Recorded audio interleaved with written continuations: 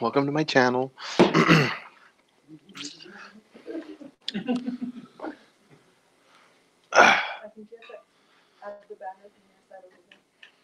You should be able to do it from there.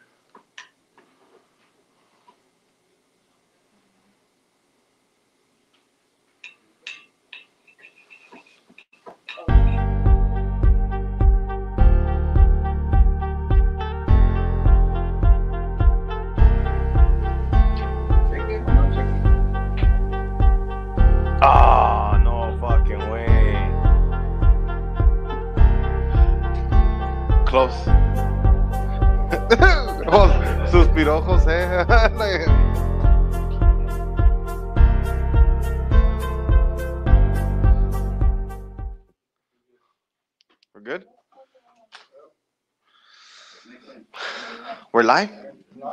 Oh shit. All right. Uh, Des, you want to double check, make sure audio sounds good? For some reason, I can hear myself over here. Make sure there's no echo.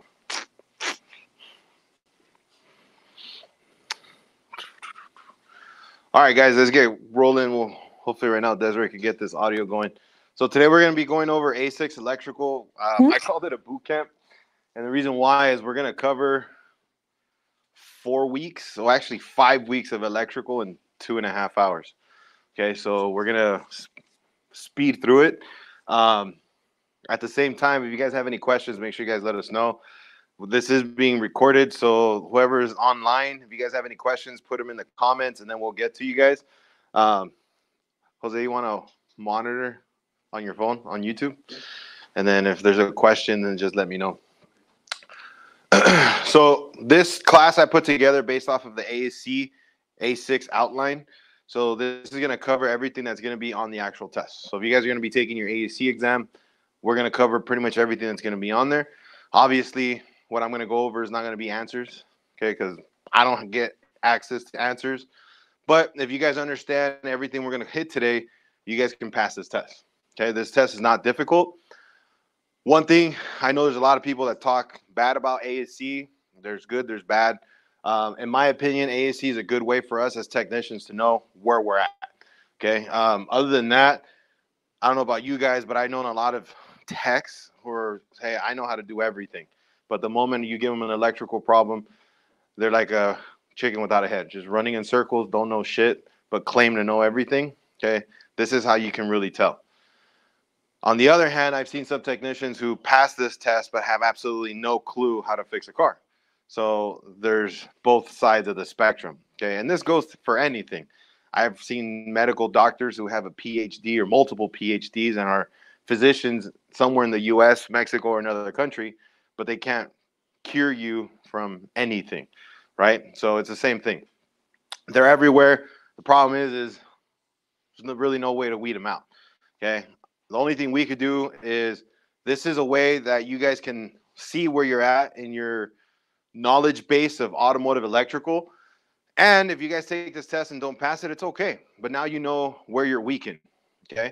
And us as techs, we need to know where we're weakened. And I'll tell you where my weaknesses are. And you need to know what your weaknesses are because we don't know it all. And you shouldn't know it all because you can't know it all. Does that make sense? Okay. So, again, if there's any questions, go ahead and let me know and then we'll cover them together. So first things first, I always talk about this. This is this is near and dear to me. Specialty training. So one of the things in automotive is we need to be able to understand what is our specialty, right? If you don't know what your specialty is, you're going to be wasting a lot of time and money and effort trying to learn something that's probably not your specialty. Does that make sense? For me, my specialties are electrical engine performance and emissions. Can I do everything else? Maybe. but if you give me a car that doesn't cool for AC, that's going to be very expensive for me to diagnose it. Does that make sense? But if you give me an electrical problem, I'll figure that out relatively quickly, which is going to be a lot cheaper, right? But the average tech can't do electrical because they claim it's too difficult, right? So it, it goes hand in hand. And the reason why I talk about specialty training is if you guys understand and know what your specialties are, can you charge more for that? Okay. And if you don't, if you're not sure, think about it this way. The last time you went to the doctor, if they sent you to a specialist, who charged more? Your standard doctor or a specialist? Specialist. So if you can become a specialist in the automotive field, can you charge more? Yeah. Why? Because you know what you're doing. You're going to be able to figure out cars that other shops can't. Okay. Now, there's a downside to that. Okay. And a lot of times your ego gets in the way. We we're called we're considered the one percent. So a lot of the cars that Jose and I work on are cars that have been to four or five different shops, a couple of dealerships, and they can't figure it out. Now the problem with that is, is when we get it, we're sold on we're gonna figure this freaking car out, right? The problem is, is you're charging one hour for diag. If you can't get it in that one hour, the likelihood of the customer wanting to pay extra time is very slim. So you need to really know what you're getting yourself into, right? There's been a lot of cases where we get cars in. First thing we do is we tell the customer X amount of hours to get the car back to stock in order for me to start checking because the other shop who, checked it did a mess, right? So those are things you got to keep in mind. But on the other hand, when we do get those cars in, we could charge a premium because nobody else could figure it out, right? And then typically it's something stupid simple, bad terminal, right? Or like right now we have a a Durango that came from two other shops. Typical had a misfire. They threw plugs at it, coils at it, and it needs a timing chain. So nobody bothered to check mechanical. It's always ignition related problem, right? So th- those are the kinds of deals that you can be getting into being a specialty tech when it comes to electrical. Okay. the other thing is, for those of you guys that don't know me, again, my name is Oscar Gomez. My mission in the automotive industry is to better the industry one technician at a time. Everybody who's watching this today, plus you guys being here today, that's helping us help the help the industry. Also, I'm a firm believer in education. The more you educate yourself, the more you can make on your investment, right? The higher you are on your education level, your knowledge level, the more you can charge, okay? And as always, I always share my story. I started at the bottom just like everybody else. I didn't just wake up one morning and knew how to read wiring diagrams. This shit took forever, took a while. But with the mentorship of Don Wilson, who was my my instructor when I went to school, and he helped me become a diagnostician and also helped me become an instructor. Um, now, from going forward from that, I've had the privilege of learning from a lot of very intelligent instructors, Rick Escalambre, Jim Morton, uh, Mike Clary. So there's Brandon Steckler. So there's a lot of big names in the industry that we all do the same. We pay it forward. Okay, so these guys have taught me a lot more, and I pass it on to you guys. Okay, so again, if you guys ever decide that you want to do more than turn wrenches, I would strongly suggest you guys look into becoming an educator. The more we can educate people in this industry, the better this industry is going to become. Right? I don't know about you guys, but most of the guys I've ran into are parts changers. Right? Car comes in with the code P0171. What is it getting? Set of O2s. If that doesn't work, let's throw some fuel injectors at it. That don't work, fuel pump. Right? And they're just going to keep going down the list. They feel like an auto parts store. So we need to change that up right? we got to test, not guess. Okay. So I always use this one too. This is a good analogy. My mentor told me that your mind is just like a parachute, it only works when it's open. Okay. So what I want you guys to do is open up your mind for these next couple of hours. Let's take in this information so this way we can help you guys become better with electrical and pass your A6. Okay. All right. So I brought this up from A to C. ASE says that in order for you to pass the A6 exam, you guys need to have good knowledge on general electrical or electric, battery and starting system diagnosis, start, uh, charging system diag and repair, lighting system diag and repair, instrument cluster driver information, and body electrical diagnosing and repair. Simple. Okay. Most cars have all these systems now. It's our job to diagnose them, properly diagnose them, and then repair. Right back in the day, and I was sharing this with my class the other day, what a lot of older techs don't realize is that the reason why they always consider the computer the problem because the computer didn't exist back in their day, right? And um, last week I was teaching some classes out in Florida, and I brought this up to the students that were there. If you got taught by an old timer, the old timer always blames the computer. And the reason why is because when they worked on cars, computers didn't exist. So they never had that problem up until the computer became part of the equation. So what's going to be the problem? What's what's the end result? It needs a computer.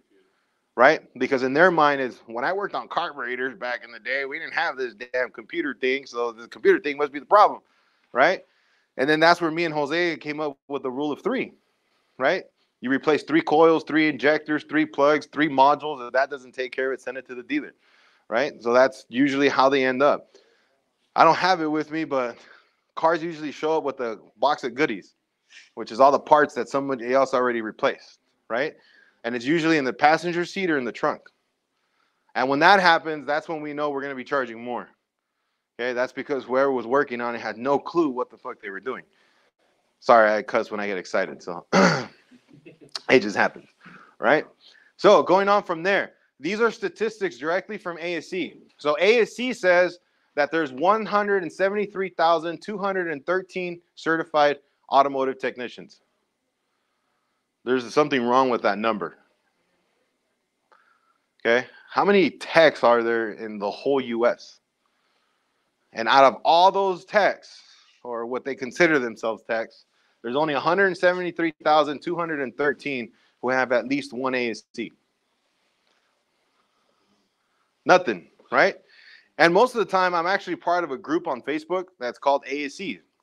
And in that group, most of the guys who are in there, well, not most of them, but a lot of the guys that come into that group are like, oh, these those tests is just a piece of paper, this and that. Yeah, that's that's true.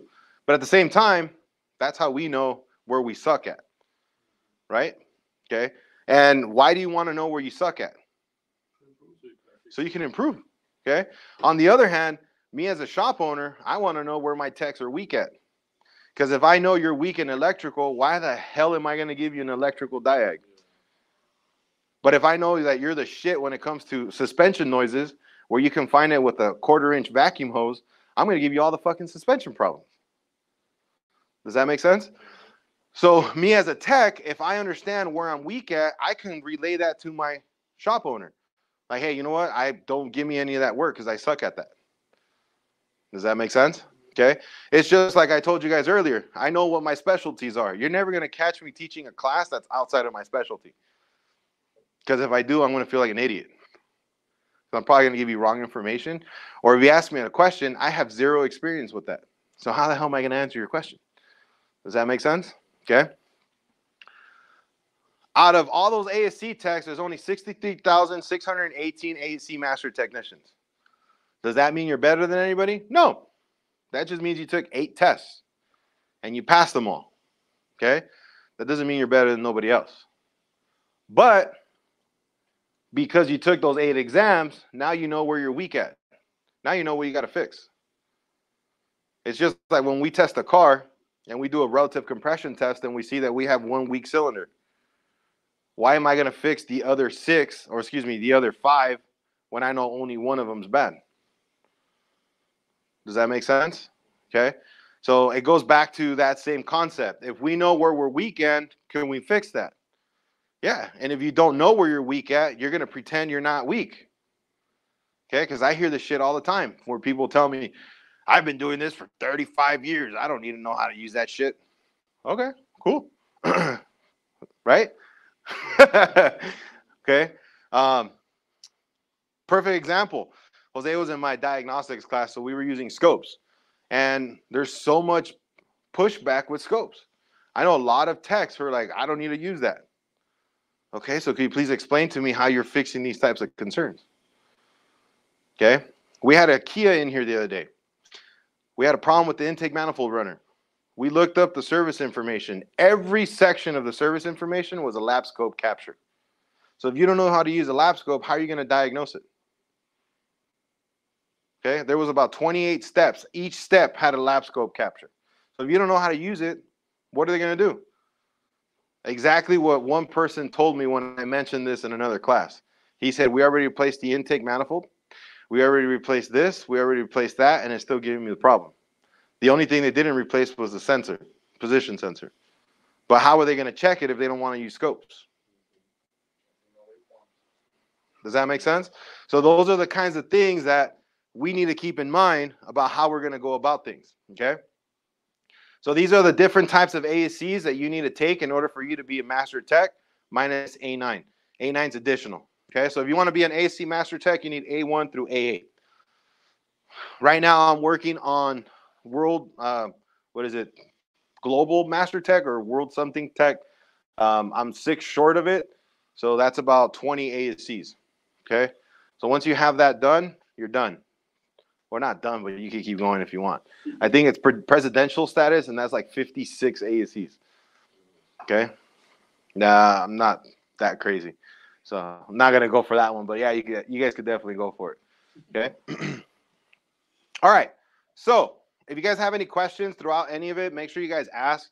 Don't leave here with that one notion of damn, I should have asked. Okay, go ahead and ask. If I don't know the answer, that means that's a really good question. Okay. And what we're gonna do is we're gonna go ahead and figure out what the answer is together. All right. And if I still can't figure it out, or we can't figure it out, then I'm gonna take your email and then I'm going to ask some smarter people than myself, and then we'll get you guys an answer. All right. So let's start off with some of the basic stuff first, because automotive electrical and anything in automotive is all basics, right? How many of you guys have ever sat in an advanced electrical class? Any of you guys? Okay.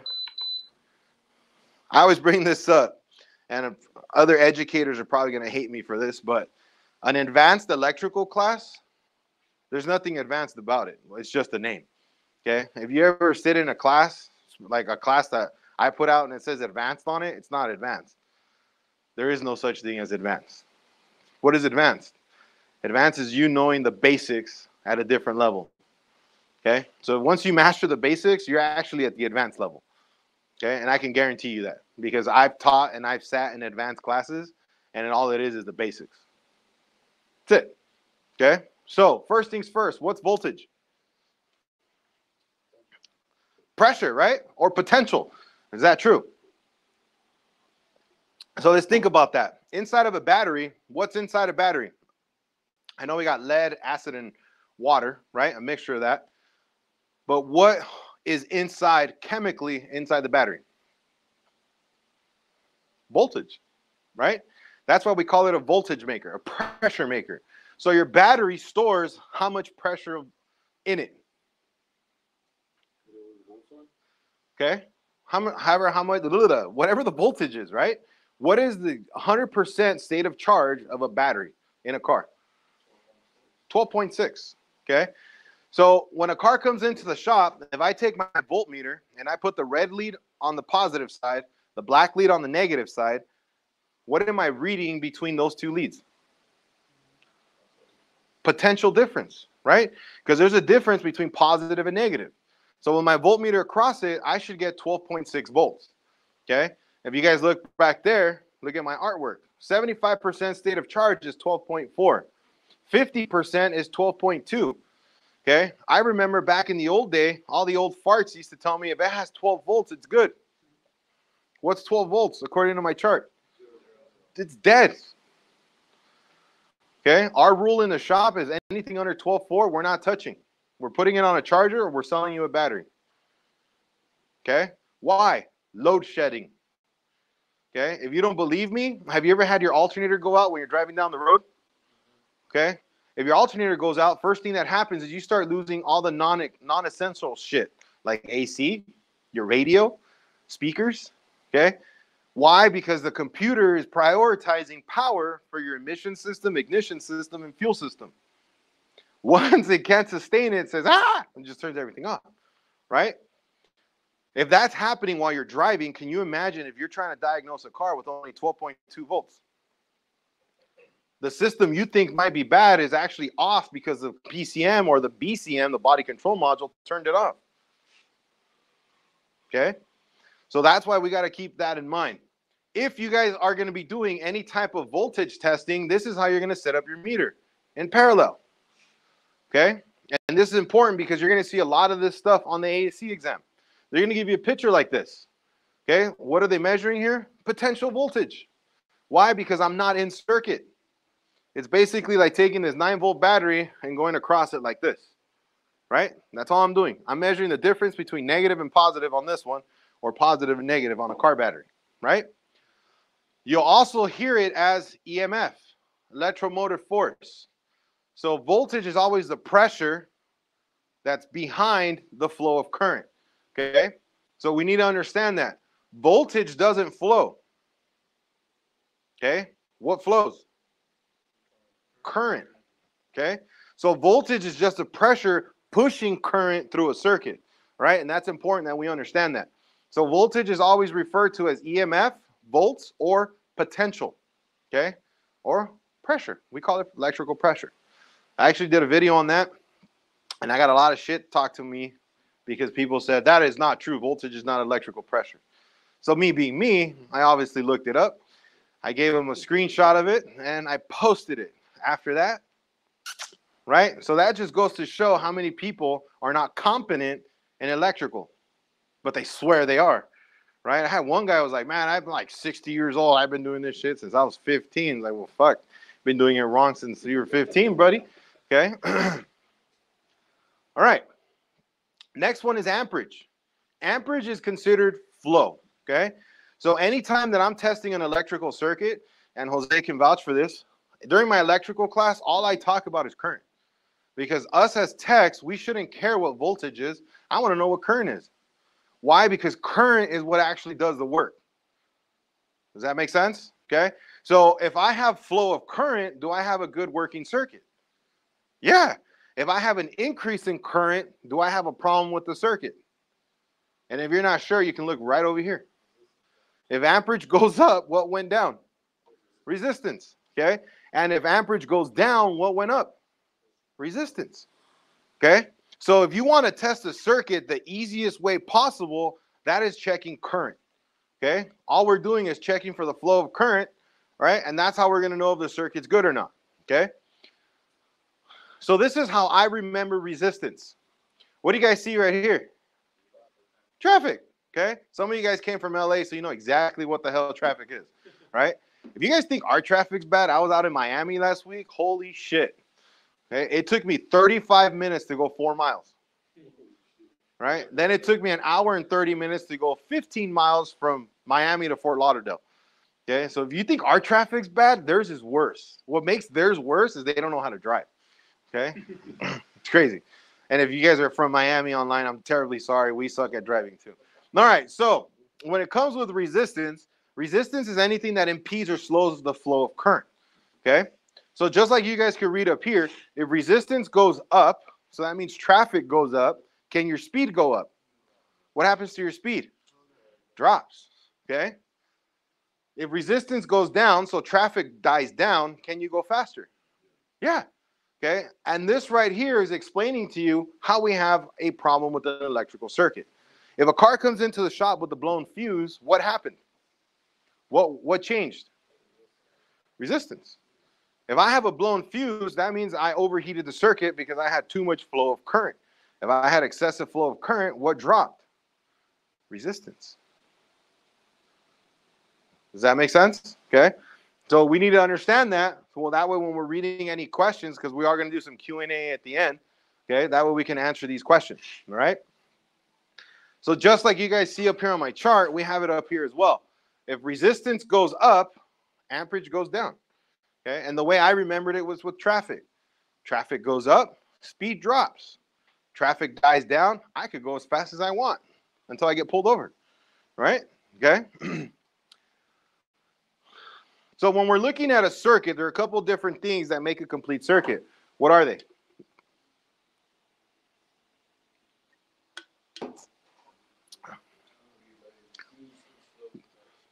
Let's break it down. Do we need a power source? What is our power source in a car? Battery. Battery. Good thing you guys didn't say alternator. The alternator's responsibility is to do what? Charge the battery. Or if it fails, to drain the battery or make your diag living hell, right? Okay, because if we have a bad rectifier bridge in the alternator, what are we going to have throughout the whole system? AC ripple. Okay, so that, that could be a problem. Battery. From the battery, we have a circuit that goes up to our fuse. What is our fuse?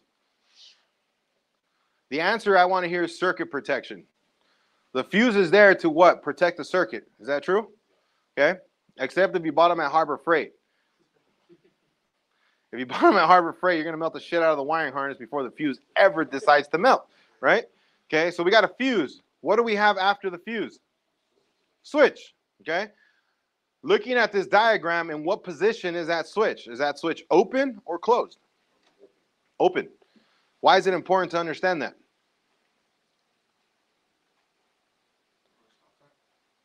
That's where it's going to stop, right? On the other hand, as a tech, if I'm looking at this diagram, what am I expecting to see across that switch? An open or a closed switch? Open. Remember, however you see your diagram is how that vehicle is in its normal condition, normal config, right? So normally this switch or this circuit is going to be open.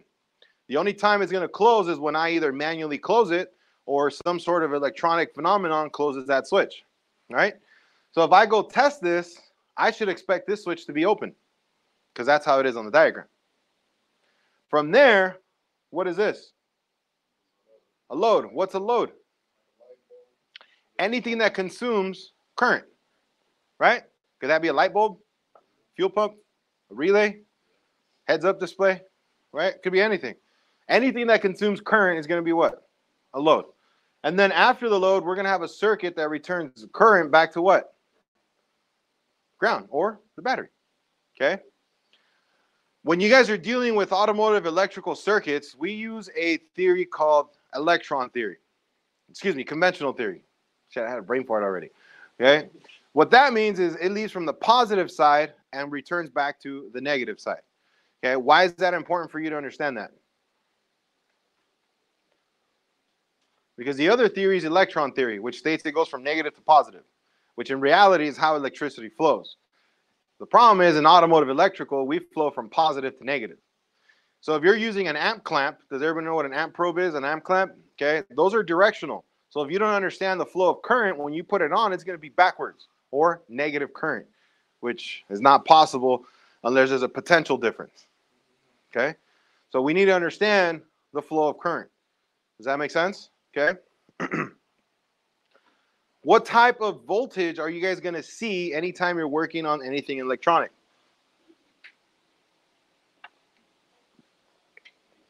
Just like the band, AC-DC. Okay? There's a major difference between the two. DC volts is only going to ride above zero. It will never go below. Okay? AC voltage, on the other hand, what can it do? It's going to alternate up and down negative and positive. Okay.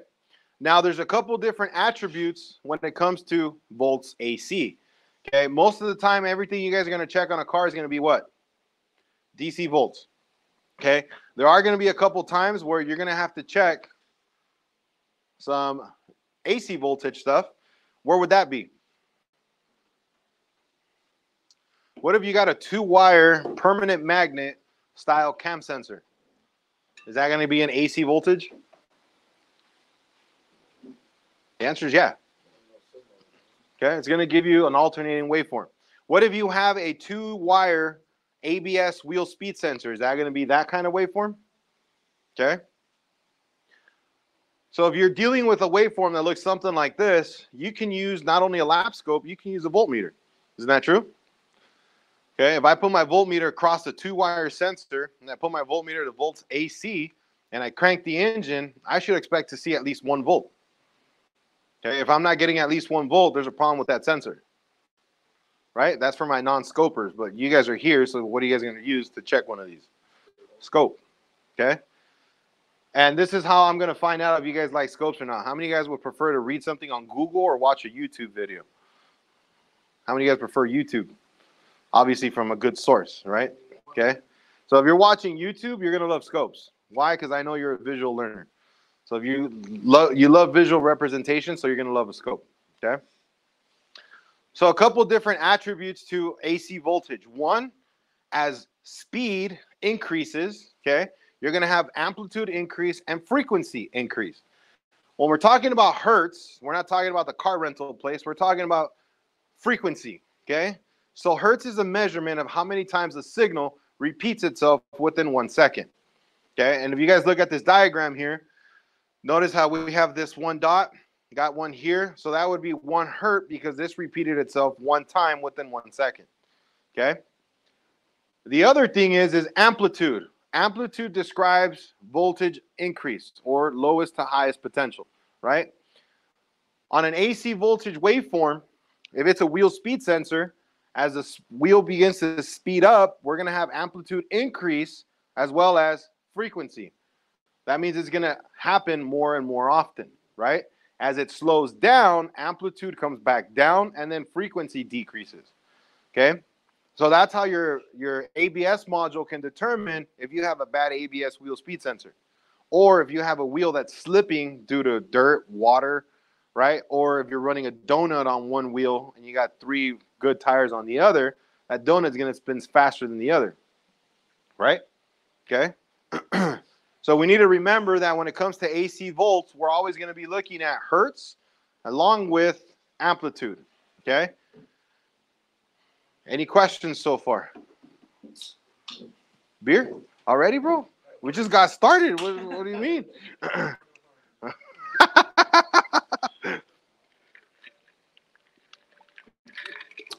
okay.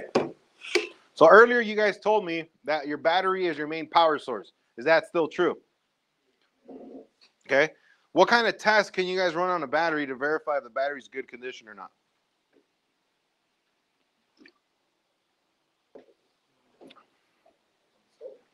We can scope it. Okay. I'm a firm believer in using a scope. How many of you guys know the difference between a dynamic test and a static test?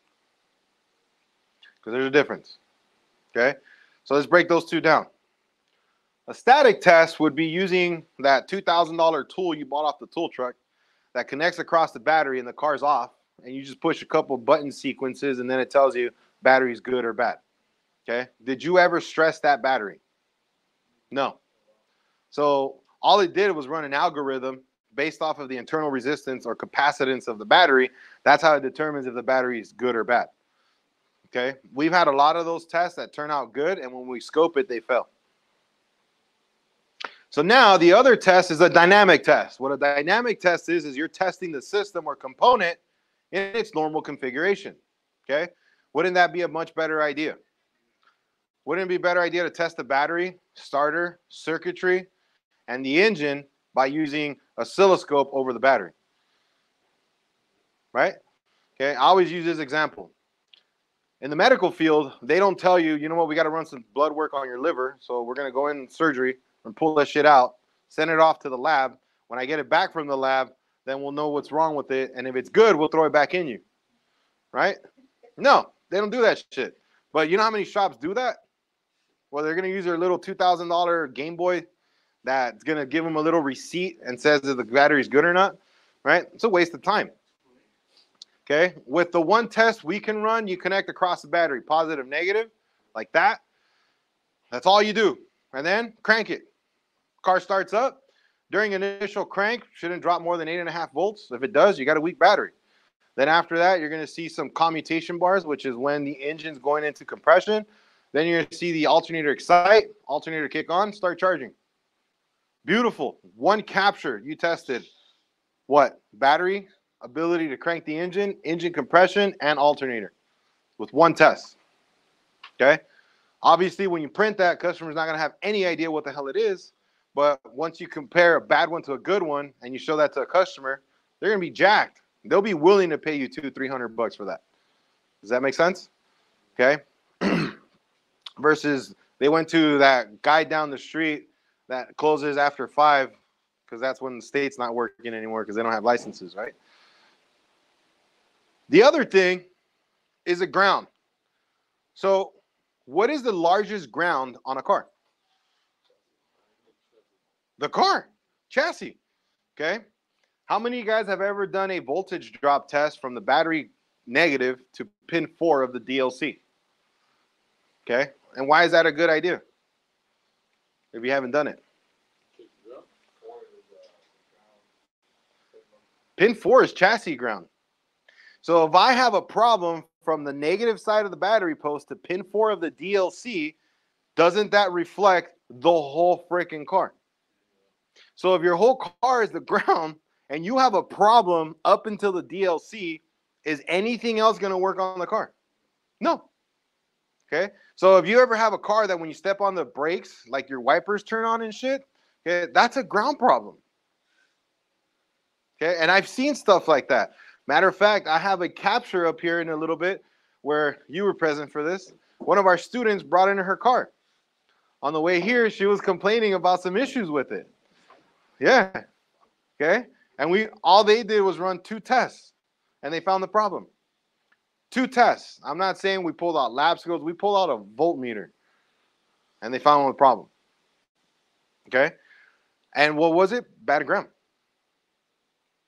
Right? The, it looked good, but it didn't test out good. Right? You'd be surprised how many batteries we've replaced for problems where people are like, nah, I can't be the batteries. Like, trust me, it's the battery. Okay, people don't realize that a battery could give you a lot of problems, especially on a car that's like electric, right? Because most cars are electronic. Okay, so ground, we need to have a good ground. It needs to be clean. It needs to be efficient. It needs to work properly. Okay, I'm gonna turn off so you guys can see these real quick. We need to make sure we have good terminals, right? That's another thing. If you guys are a shop and I ever catch you using universal terminals or emergency terminals, I'm gonna smack you. Okay? You don't use those. You guys are professionals. You either replace the whole cable or you make your own. You don't use that shit. Okay? You leave that to the kid that goes on forums on fucking Google and listens to some kid in the Philippines about how to fix his car. Okay? Let him do that, not you. And how dare you put those shits on and charge a customer for it? Okay? What you guys should be doing is you need to buy double zero or zero gauge wire, right? buy a crimping tool, buy some cable lands, and make your own. That looks way more professional. Okay? This is the shit I'm talking about. Okay? You'd be surprised how many cars show up from other shops. They say, oh, battery's good. And it looks like that. Okay? We fixed cars that had 7, 8, 9, 10, 11 volts on the case. It's plastic. Plastic was holding voltage. That's just telling you the battery's leaking. Okay? But nobody fucking bothered to check that. They know it looks good. How the hell does that look good? And then people wonder why we have a bad reputation as auto repair shops and techs. Does that make sense? Okay. Jose fixed one today. Right? And it came from another shop. I don't want to say that, but yeah, it came from the dealership. Okay. And it's it's again, it goes back to you gotta understand what you're doing, right? Okay. How many of you guys have heard of this test, the continuity test? Where you put your meter in resistance and then you test the circuit. You guys ever seen that before? Yeah. Right? You probably taught that. And I'm going to be the first one to tell you the only time you're going to do a continuity test if you're testing pin 6 and 14 of the DLC for an open terminating resistor. Outside of that, you're probably not going to use it. Okay? Or at least I'm not going to show you how to use it because that's a waste of time. Okay. Or if you're trying to pinpoint an open circuit like we were doing here in class, like that. But outside of that, you're not going to use this. The reason being is, am I loading this circuit by doing this test? No. Okay? And I have a video where I did this this same test, okay? I took a piece of 14 gauge wire and I took one strand out of that wire. And I tried to run 10 amps through it. What thing happened? Burned up. But when I did a continuity test, tested fine. Okay? So why are we going to do static testing when I'm not stressing it? Wouldn't you rather stress the circuit to be able to know? Right? Okay, I gave this example the other day while I was I was teaching a class. Everybody know what a stress test is, right? Where they put all these gadgets on you and shit, and then they make you run on a treadmill like they're about to kill you, right? To see how much you can take. Can you imagine doing a stress test on a lazy boy, drinking a beer, watching Netflix? Is there going to be a difference between those two stress tests? Okay, so that's a continuity test. Sitting on a lazy boy, drinking a beer, watching Netflix, right? And then you're wondering, like, oh, I'm good, man. Look at my heart rate. It's fucking gangster, right? But then they throw your ass on a treadmill and you're dying, foaming out the mouth, all kinds of crazy shit. Does that make sense? Okay. So that's why this kind of test doesn't do anything for you. It's you're wasting your time and your customer's money because this test is not going to tell you shit. The last time I used this test was to verify that I had a short circuit to ground. That's it. Okay? When we have an open circuit, what is that referring to? Do you have flow of current, no flow of current, an open path? Could that be a corrosion? If it's bad enough, it could be, right? If it's not, what is that adding to it if you have corrosion? Resistance. Okay? When we have an open circuit, we have a broken path, right? Now, there's two different types of open circuits intentional and unintentional. What's an intentional open circuit? Could that be a switch or a relay? Yeah. Right? When I turn off my headlights, didn't I intentionally open the circuit? Okay, so that's intentional, right? But what happens when you have Joe Schmo who just smoked some weed, now he's working on your car, forgets to put a ground on the back of the engine block. Now that whole ground circuit's open for the whole engine harness. Now the car won't start. Was that intentional or non intentional?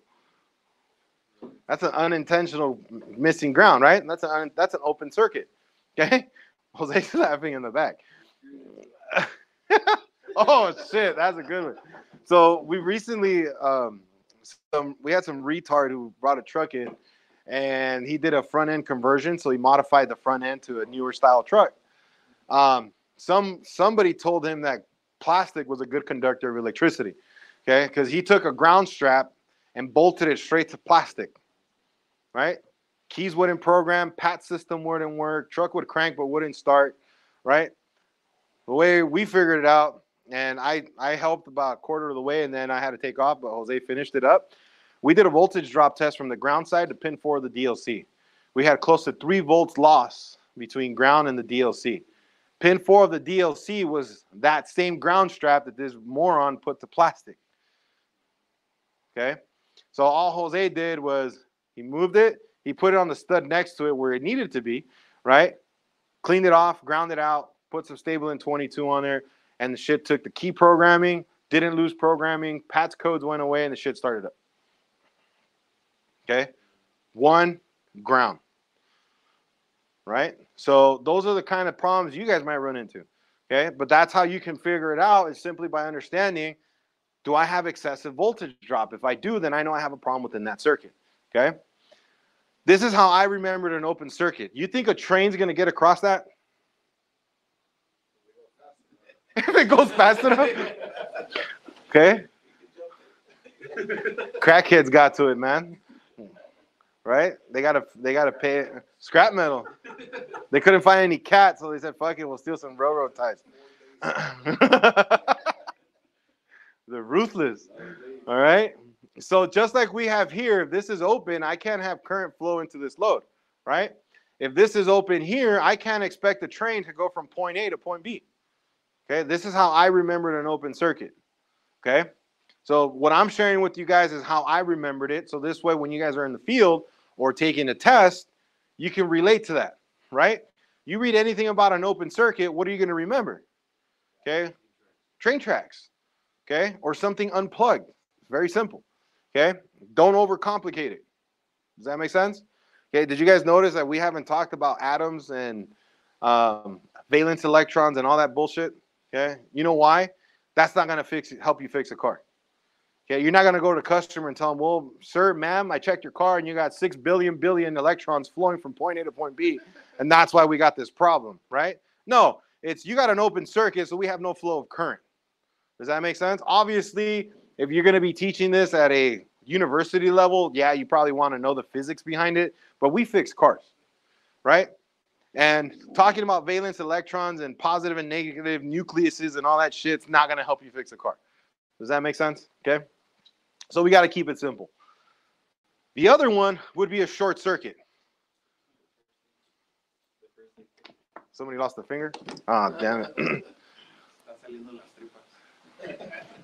They need a rag and an electric tape and, and move on. Okay. Whenever we have a short circuit, what do you call that? If you don't know, look right here. If I have a short circuit, what happened to my resistance? Did it go up or down? Down. Okay.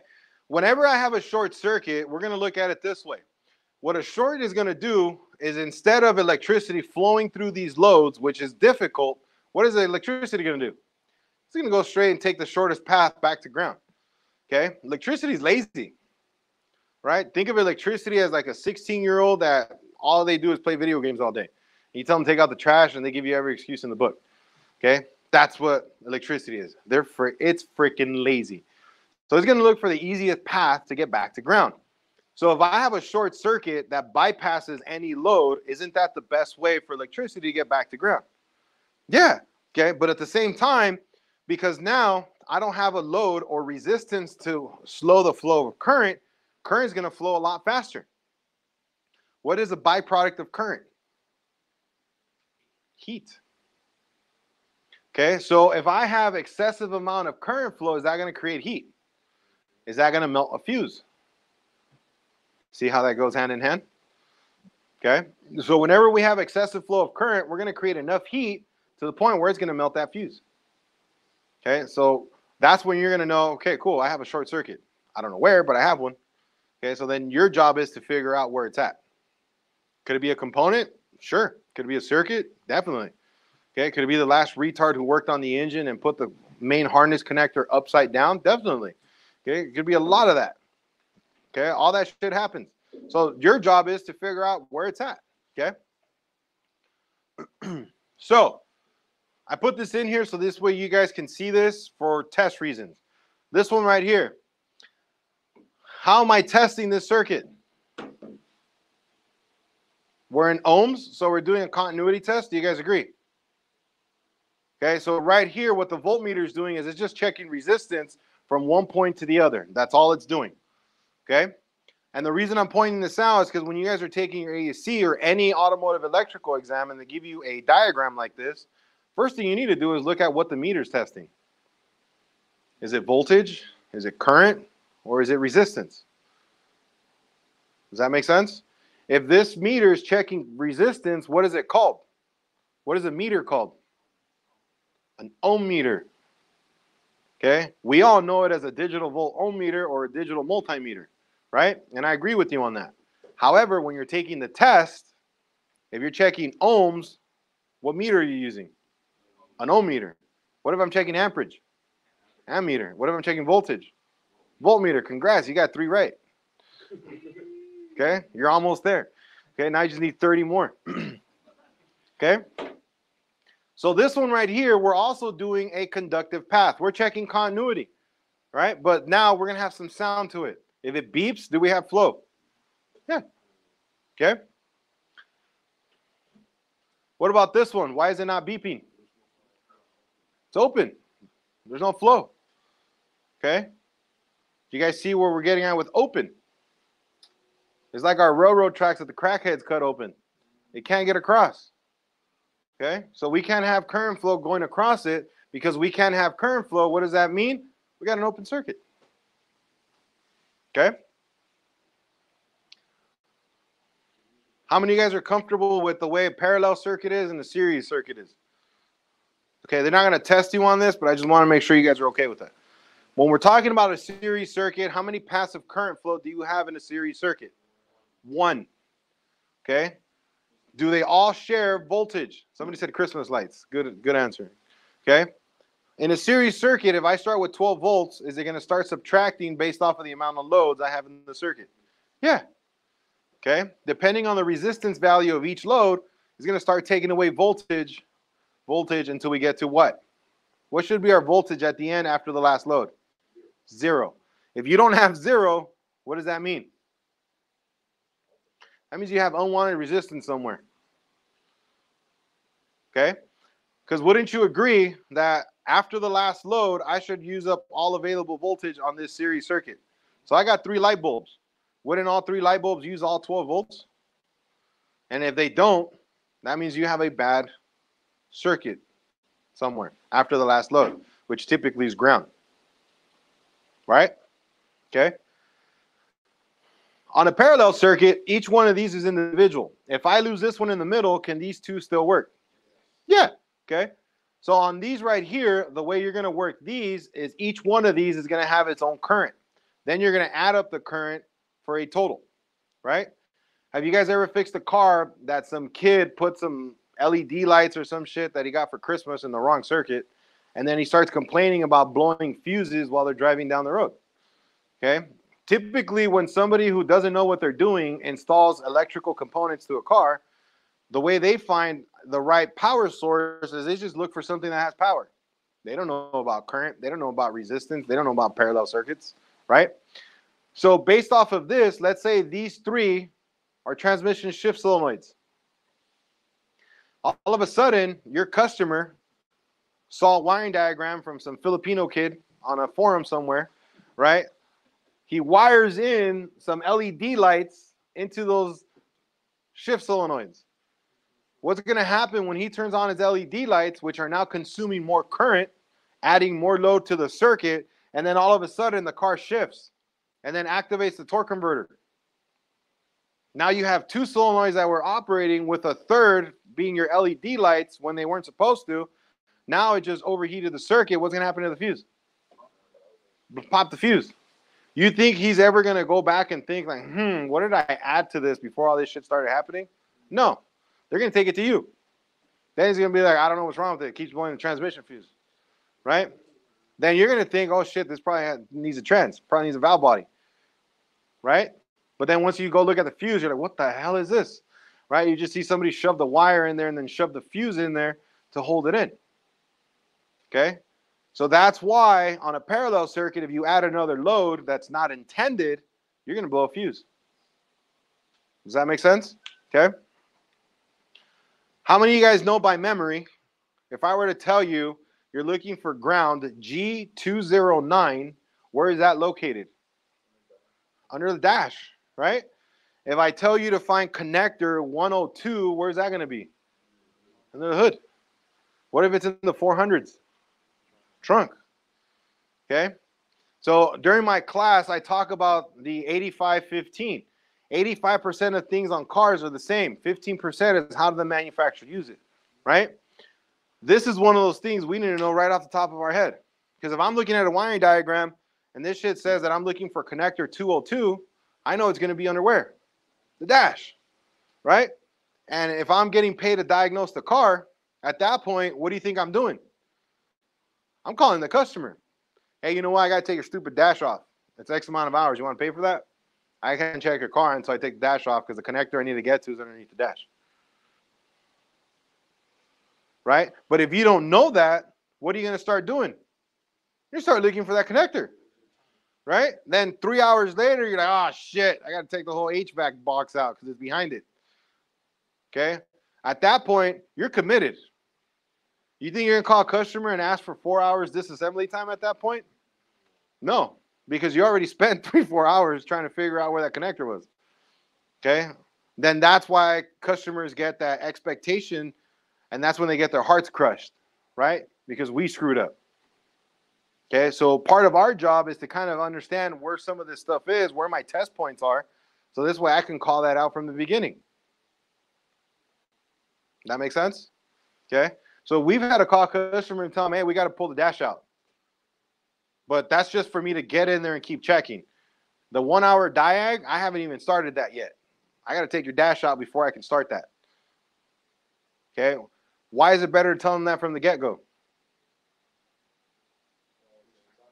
So you don't waste your time. If they don't want to pay you, see you later. Come pick it up. Take it to Joe's garage down the way. Pretty sure he'll break it, figure it out. right? Okay. Or some sometimes we send cars away. And what's freaking hilarious is it comes back. But you know who brings it? Another shop. The shop that they took it away from us to go take it to the other shop, that shop brings it to us. And what's even funnier is the customer comes to us to pick it up was like, "What's up, man? How's it going? I haven't seen you since the last time you were here." okay, since the first time you were here. Okay, when you told me you didn't want me to fix it. Okay, so dynamic testing. Here's how we're gonna do this. I want you guys to look at these two. and we're going to analyze these for test purposes. So this first one over here, my voltmeter is set to what? Ohms. Okay. So now I know that this is an ohm meter. Do you guys agree? Okay. If I have my ohm meter set to the output side of the bulb to ground, and I'm getting 0.005, so 5 milliohms, what does that mean? Is that circuit intact? That's voltage drop. That's voltage. You're right, but that would be voltage. What makes it different is where we have our meter set to, right? So we're checking ohms. Ohms, this should be at zero, right? So because we're near zero, does that mean that circuit's okay? Yeah. Can it carry a load? I don't know. But according to my continuity test, is that okay? Yeah, right? Now, if I go to the next one, we're still checking resistance. We're still in the same connection, but what does my meter show? OL. Because it says OL, what does that mean to that circuit? Is that circuit in good shape or not? No, that circuit's open. Does that make sense? Could I have seen that doing a voltage drop test? Yeah, we're going to talk about voltage drop right now in a bit. Okay, but think of it this way. If that last voltmeter that says OL was on an ASE test, and you're taking the test and you're like, freaking idiot, I would have done a voltage drop test. Don't do that. Because now you're going to start second guessing yourself. Okay?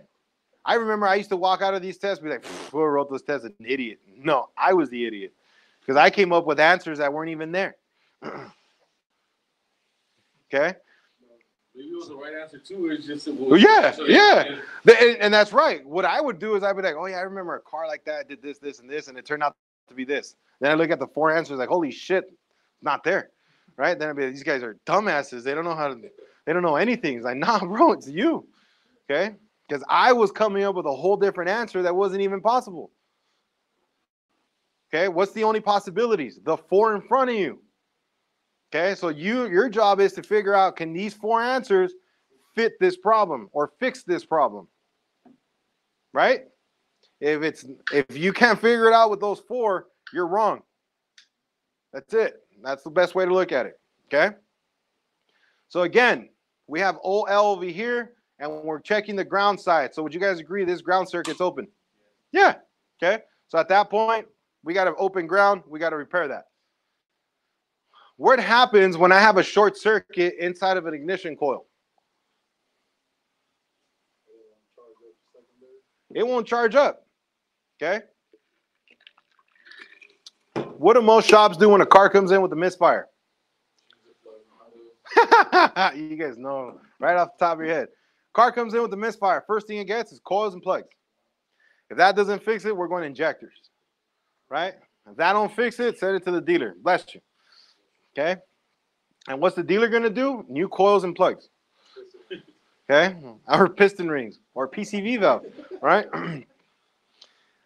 How can we spot a shorted coil on a car? How can we test that? We need a scope and a paddle probe. Okay. Or can I use an amp probe? Okay. When I have a short circuit, okay, based off of what you guys know, if I have low resistance, what happens to my amperage?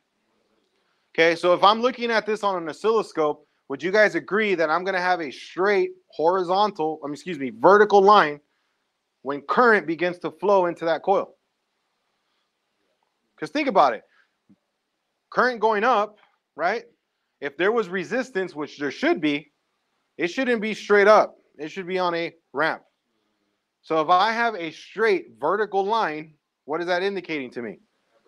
I have excessive amperage. The only reason I can have excessive amperage is what had to have happened in the circuit.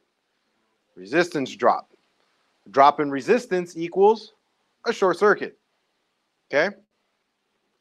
We did that with the Nissan, right? You guys got to see the bad coil. okay? On this one over here, if let's say this was a question on the ASE exam, and it tells you that this light turns on. Or excuse me, we're going to say whenever you step on the brakes, it blows the fuse. Okay? So question states that this car comes into the shop because every time the customer steps on the brake, it blows a fuse. Okay, what should start going through your mind automatically? I got less resistance, right? Because I'm blowing a fuse. So if my fuse blows, then I have excessive current draw, right?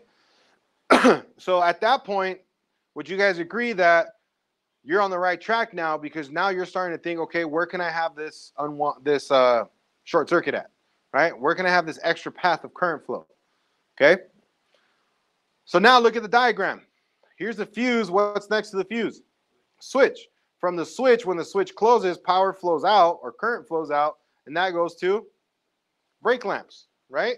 So the moment that I step on the brakes, it blows this fuse. So this is telling me that this switch closes, allows current flow. So that means I need to have a short circuit either immediately after the brake switch or before this load. Is that true? Okay. So what you're going to do when you're taking the ASE test is look at where they have the voltmeters. They're usually going to have little meters coming off of it with measurements. Okay. So if they have a voltmeter right here where it says short to ground, and that meter right there is showing zero zero, and it's from that point to ground, wouldn't that tell you that there's a short to ground there? So whenever I close that or step on the brake and I close that switch, what's happening? Instead of going to the load, the easiest path is to take that shortcut back to ground. Right? That excessive flow of current overheats the fuse, and what happens to the fuse? Blows, pops. Does that make sense? Okay. I love this one.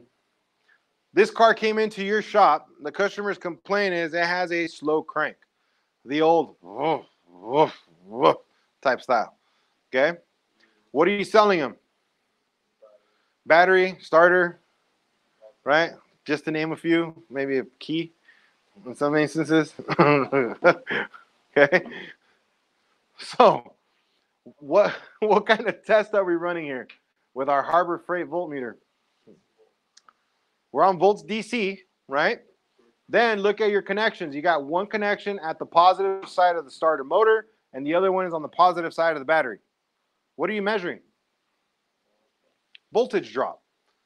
Okay, so what we're measuring there is the voltage consumption between the battery post and the starter. Okay, while the engine's cranking, because you never do a voltage drop test statically, you got to load the system, right? So with the car cranking, we're measuring negative 1.27 volts. Why is it negative? Leads are backwards. That's a beautiful thing about a voltmeter. Okay. I've had students before that took my electrical class and they're like, nah, I don't want to touch that. I'm going to fuck it up. No, you're not. Okay. The only way you'll mess it up is if you have an old school analog meter, the one with the needle. Okay. Don't use those. Those have low internal resistance. Yes, you'll fuck some shit up if you do that. Right. But on one of these, we don't have that problem. They have high impedance. So you're not going to screw anything up. All you get is a negative reading. That just means your leads are on backwards. Okay. So at this point, we're losing 1.27 volts from the positive side of the battery to what? to the starter. So what's the problem here? Is it the starter motor? Is it the battery? What are you going to sell your customer?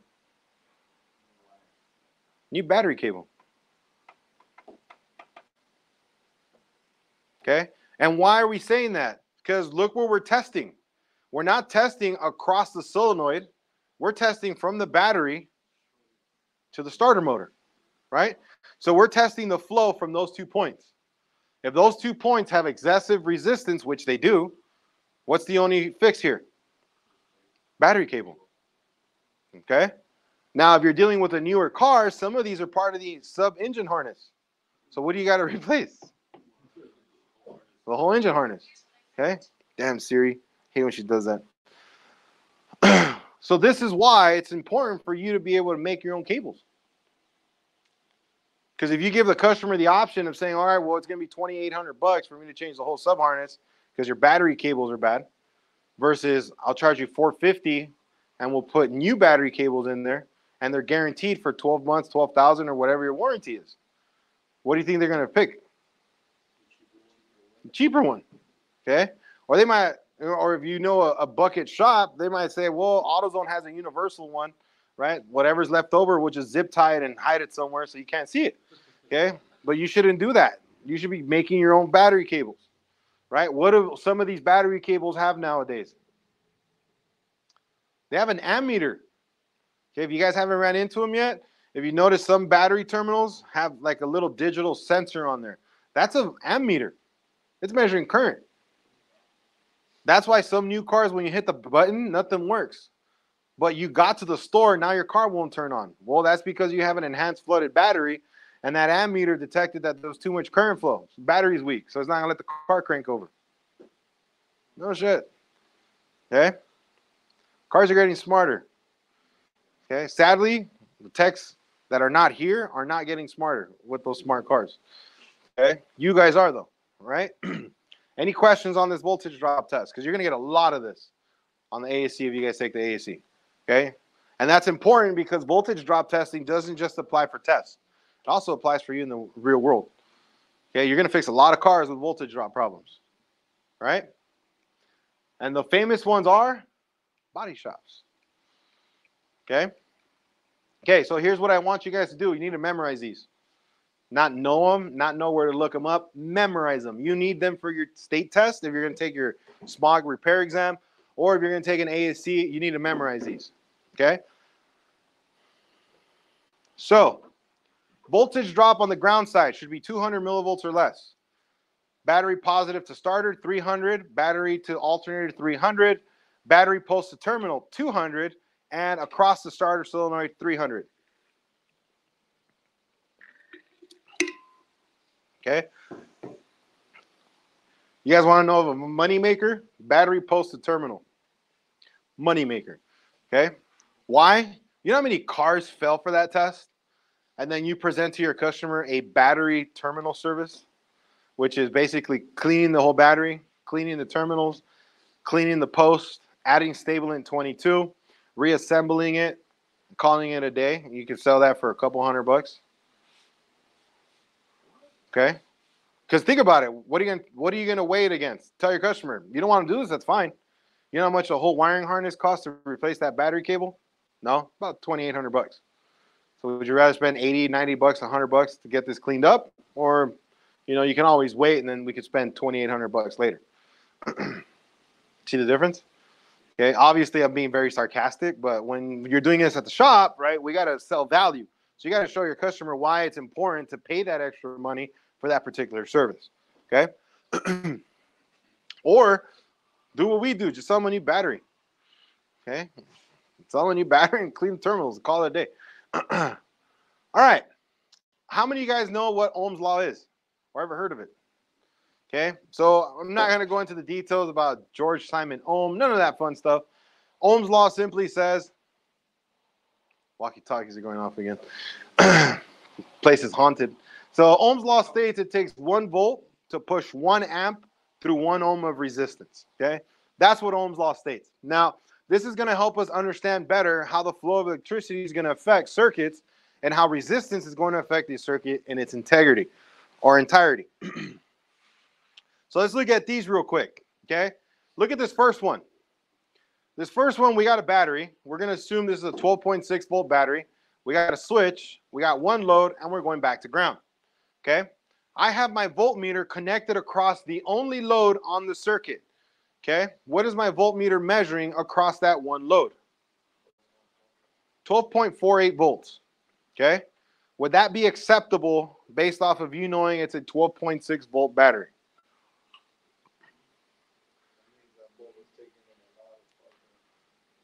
What's before the bulb that could be taking away some of that voltage?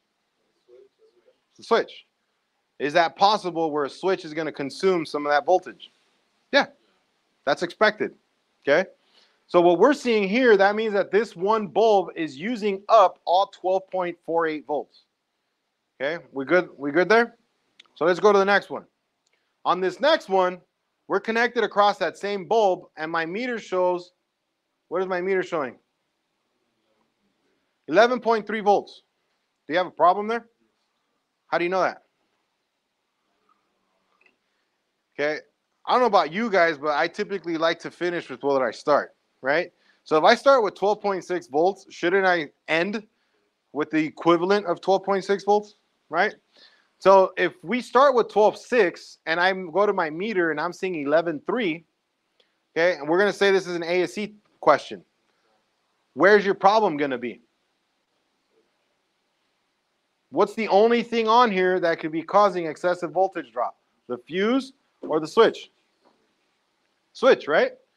Look at your meter. You got a voltmeter set in volts DC showing 1.2 volts, and it's connected from the positive side of the battery to the output side of the switch. Okay? How would I be able to diagnose this on the field? Forget the test. On the field, how would you fix this? Okay, my mentor taught me you walk the meter. Okay, and that's exactly what I teach. What that means is I'm going to keep this red lead is the one I'm going to move, and I'm going to keep my black lead on the positive side of the battery. So now, if I take my red lead to the input side of the switch and this voltage goes away, where's your problem? Switch. But what if I go to the input side of the switch and I'm still seeing 1.2? So then I'm going to move it to the next point, which would be the fuse. If I go to the output side of the fuse and this goes away, that means that my problem is between here and here. Does that make sense? Okay. How are you going to fix that?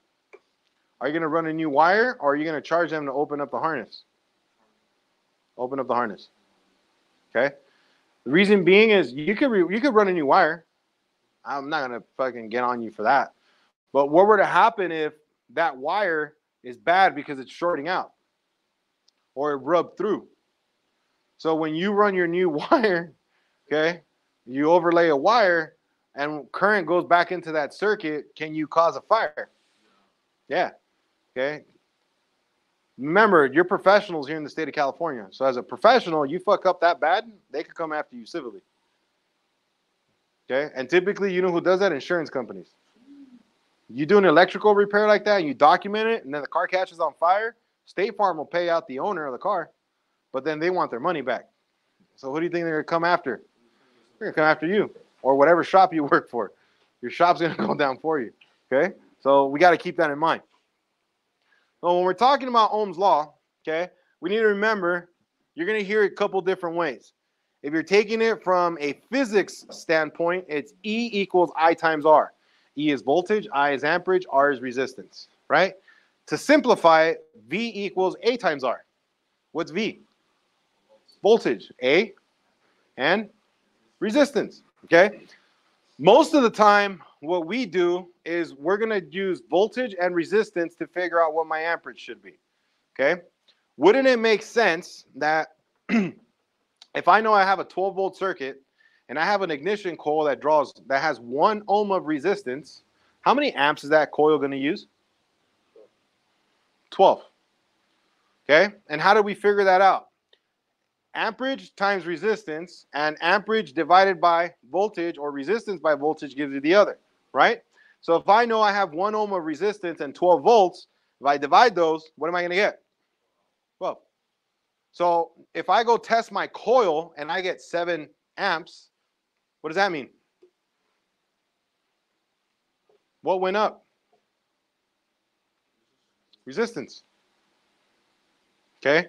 So your misfire is not going to go away if you replace the coil. Because your coil is only doing what it can do with what it has.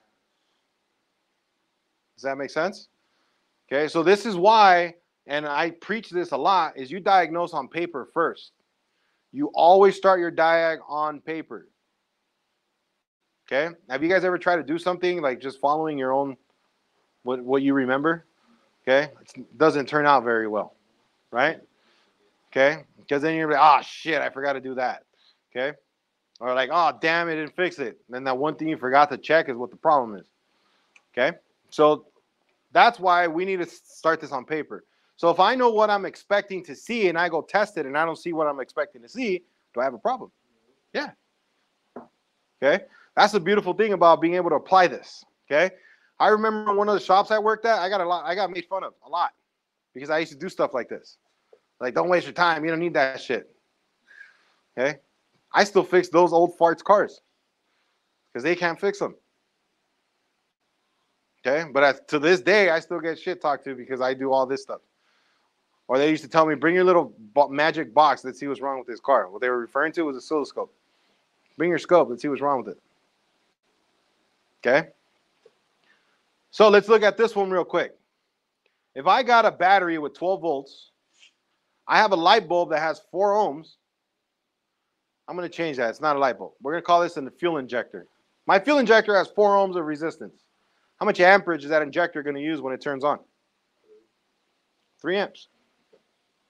If you go test that injector and it's pulling five amps, what's wrong?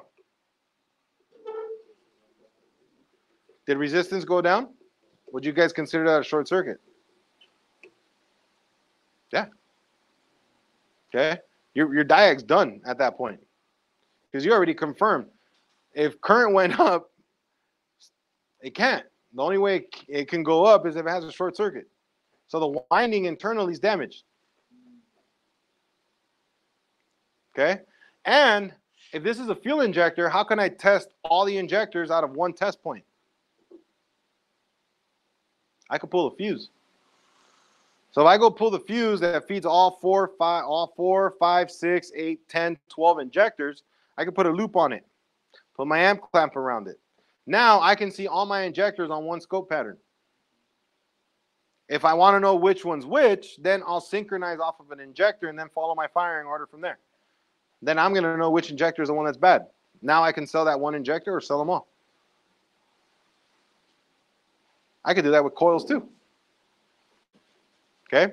So as long as you're aware of what you're expecting to see, and then you go test it and it's not what you're expecting, do you know you got a problem? Yeah. Okay? Wattage. They're going to ask you about this. How do you calculate wattage?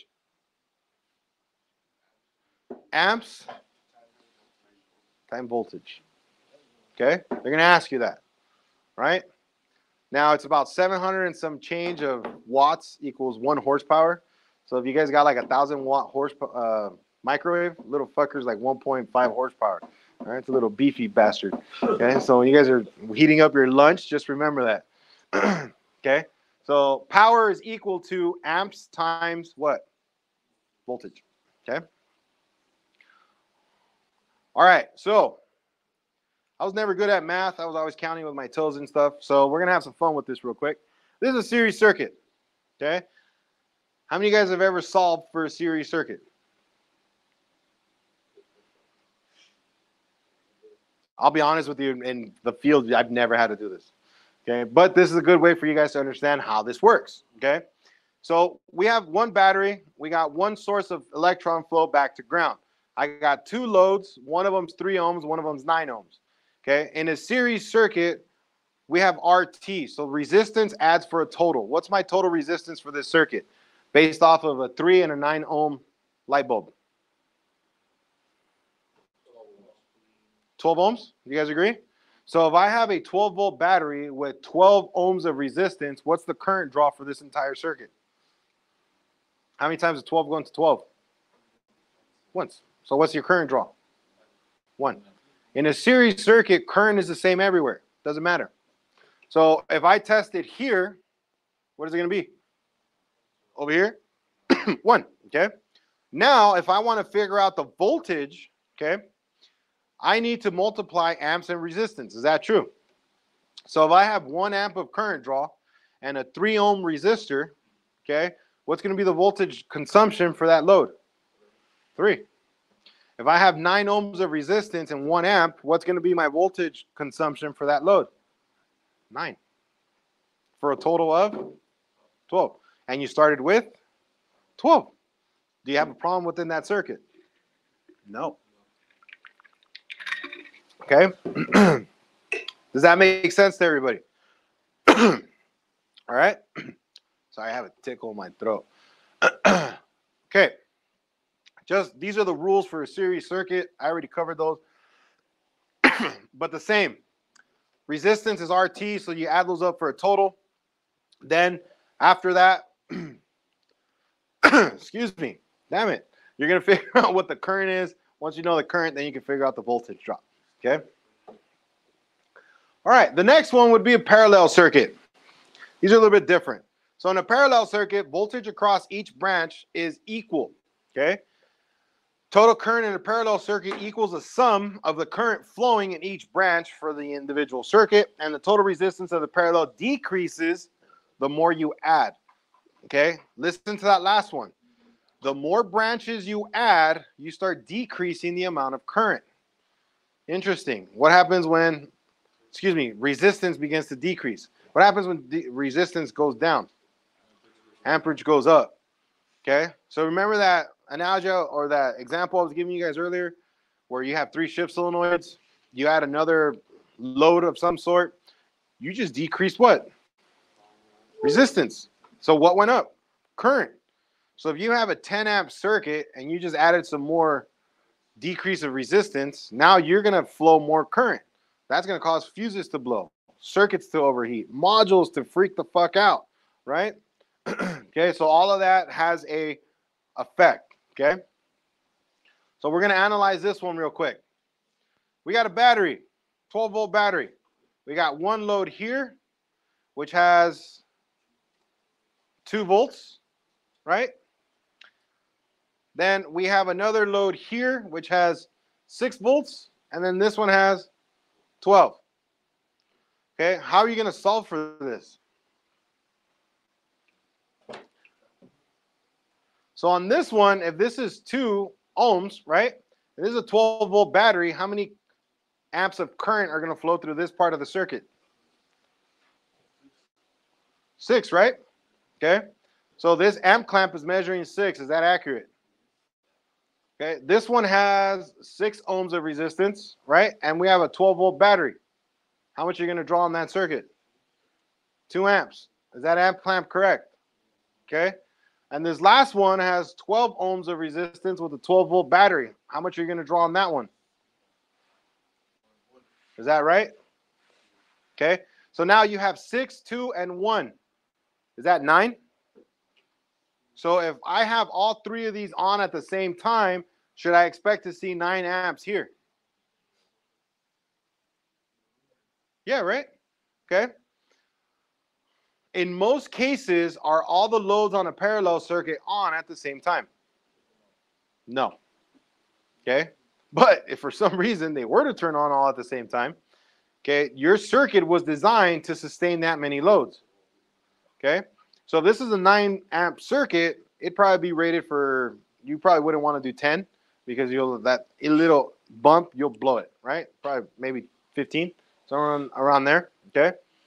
But can you imagine this is on a car and all of a sudden somebody starts wiring in an amp, a light bar, a second light bar, okay? And it's running off of a circuit that was pre-designed for another amount of current. And when you turn all that shit on all at the same time, what's going to happen? Blow fuse. Okay? By the way, I decided to use this amp clamp because this is one of my favorites. Okay, this is an ES688, pretty badass amp amp probe. This is a standalone, works very well. So if you're trying to find a parasitic draw, this thing works badass. Okay. All right. How many of you guys have ever heard of Kirchhoff's law of voltage drop? If you haven't, it's real simple. Whatever you start with, you finish with. Okay. And what we mean by that is if I'm going to do a voltage drop test from point A to point B, we're going to get 0.025. So that's 25 millivolts. Okay. From point B to C, that's 11.835 volts. From C to D, right there, we're looking at 25 millivolts. From D to E, so across the switch is 60 millivolts. E to F is 30 millivolts. And then G to H is 25 millivolts. If you add those up, what should your total be? 12. If they don't add up, you got a problem. Okay? So you got resistance somewhere. Right? Remember, is this light bulb on or off? On. How do you do a voltage drop test? In what condition must the circuit be? On, loaded. Okay? If it's not on, you're wasting your time. because is going to pass. Okay, you need to load the circuit. All right. Okay. What are we measuring here across the battery? Voltage potential is 12.6 volts. Is that a good battery? Would you start testing that car if that car was in your shop? Yeah. Okay. Lower than that, don't waste your time. All right. Anybody need to use the restroom? Take a quick break, or you guys want to hammer it through? Hammer it through. All right. Okay. So when you guys are looking or taking your ASE exam, even if you're not taking ASE and you guys are reading a wiring diagram, what does it indicate when you see a box with these dashed lines around any component? That means it's part of a larger part of a diagram. Okay. So if I'm looking at it and I see these dashed lines, that means that this right here is just a small part of a larger diagram. Okay. So as you guys could see, just like with any conventional theory wiring diagram, where are my powers? At the top. Where are my grounds going to be? The bottom. What's going to be in the middle? Loads and componentry, right? Okay.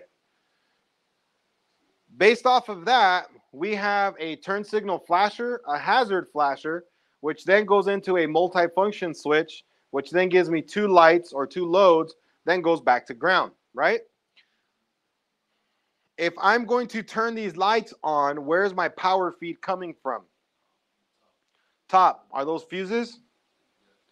Would you guys say that if you get a question that says that your turn signals are inoperative and one of the answers is a blown fuse, would that be a good idea?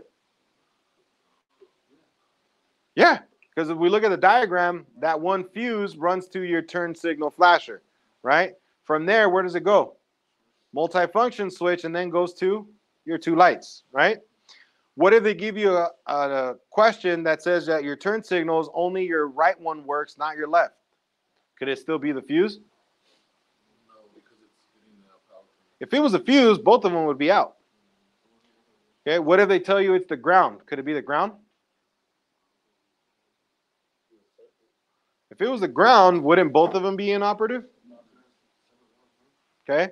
What if they tell you it's the connection from the ground at the bottom of the light? Is that possible? Yeah.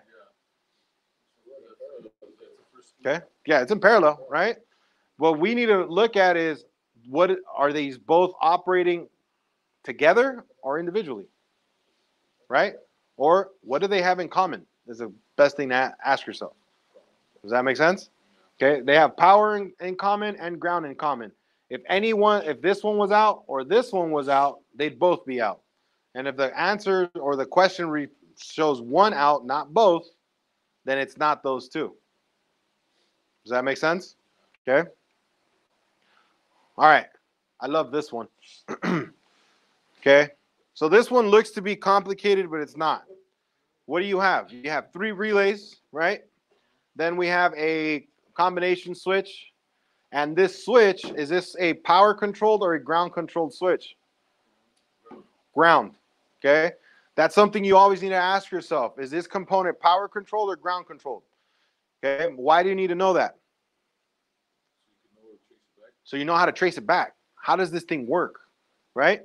So we look at it, we got our power distribution here at the top with three fuses, right?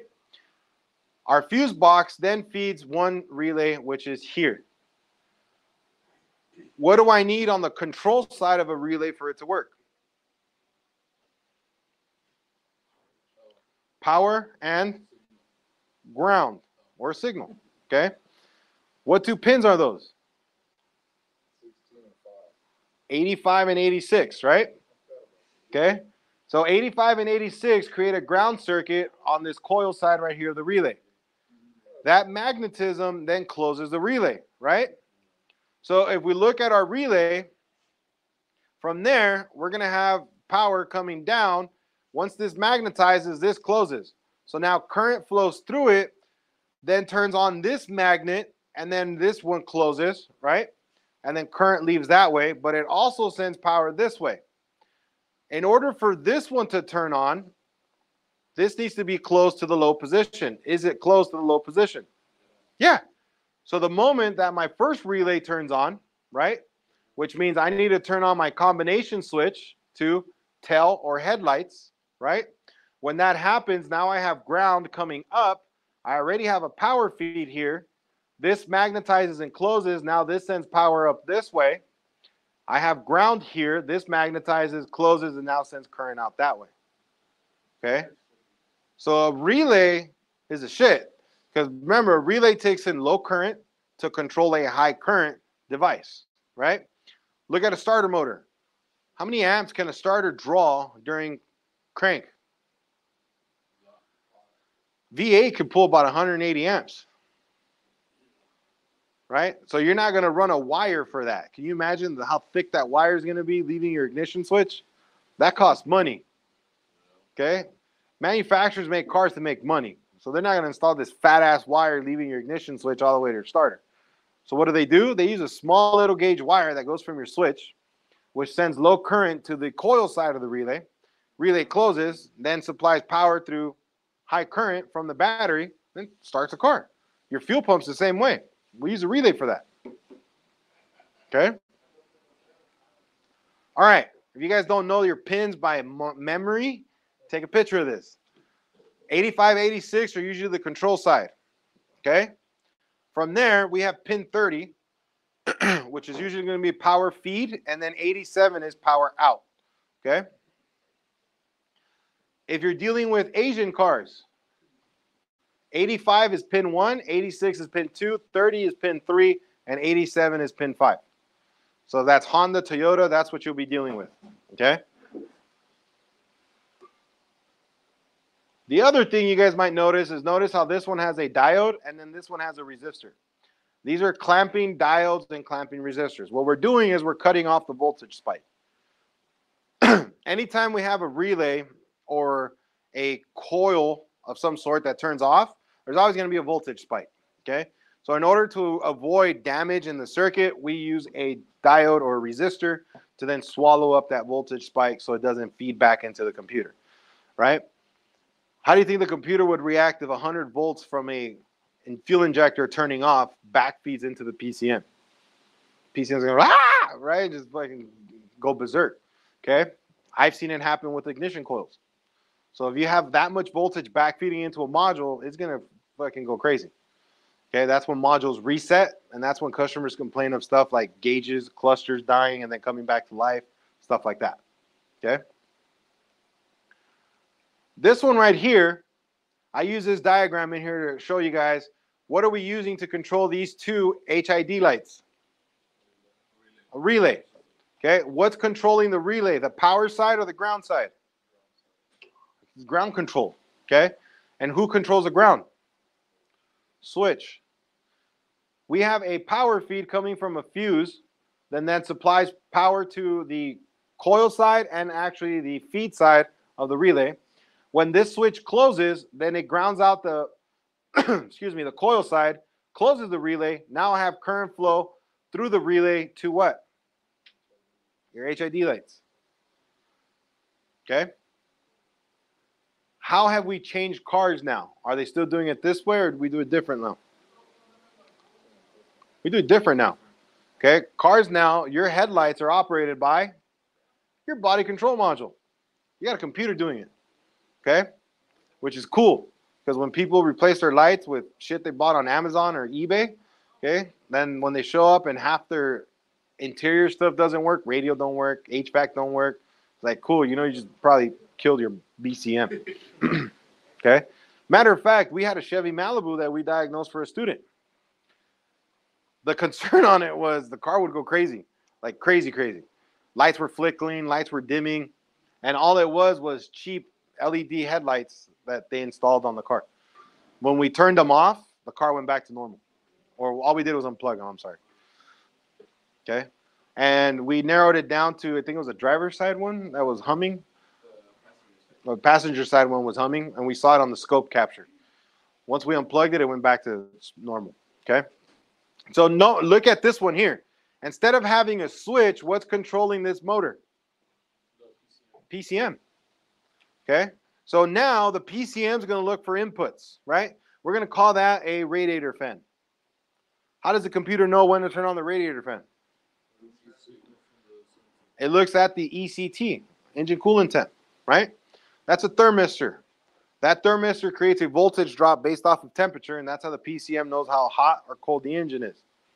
So if that thermistor is telling the PCM that it's 240 degrees, the PCM is going to turn on the fan, right? Because it needs to bring down the temperature.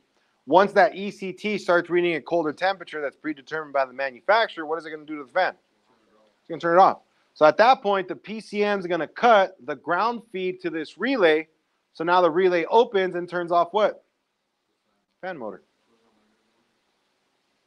Does that make sense? Okay.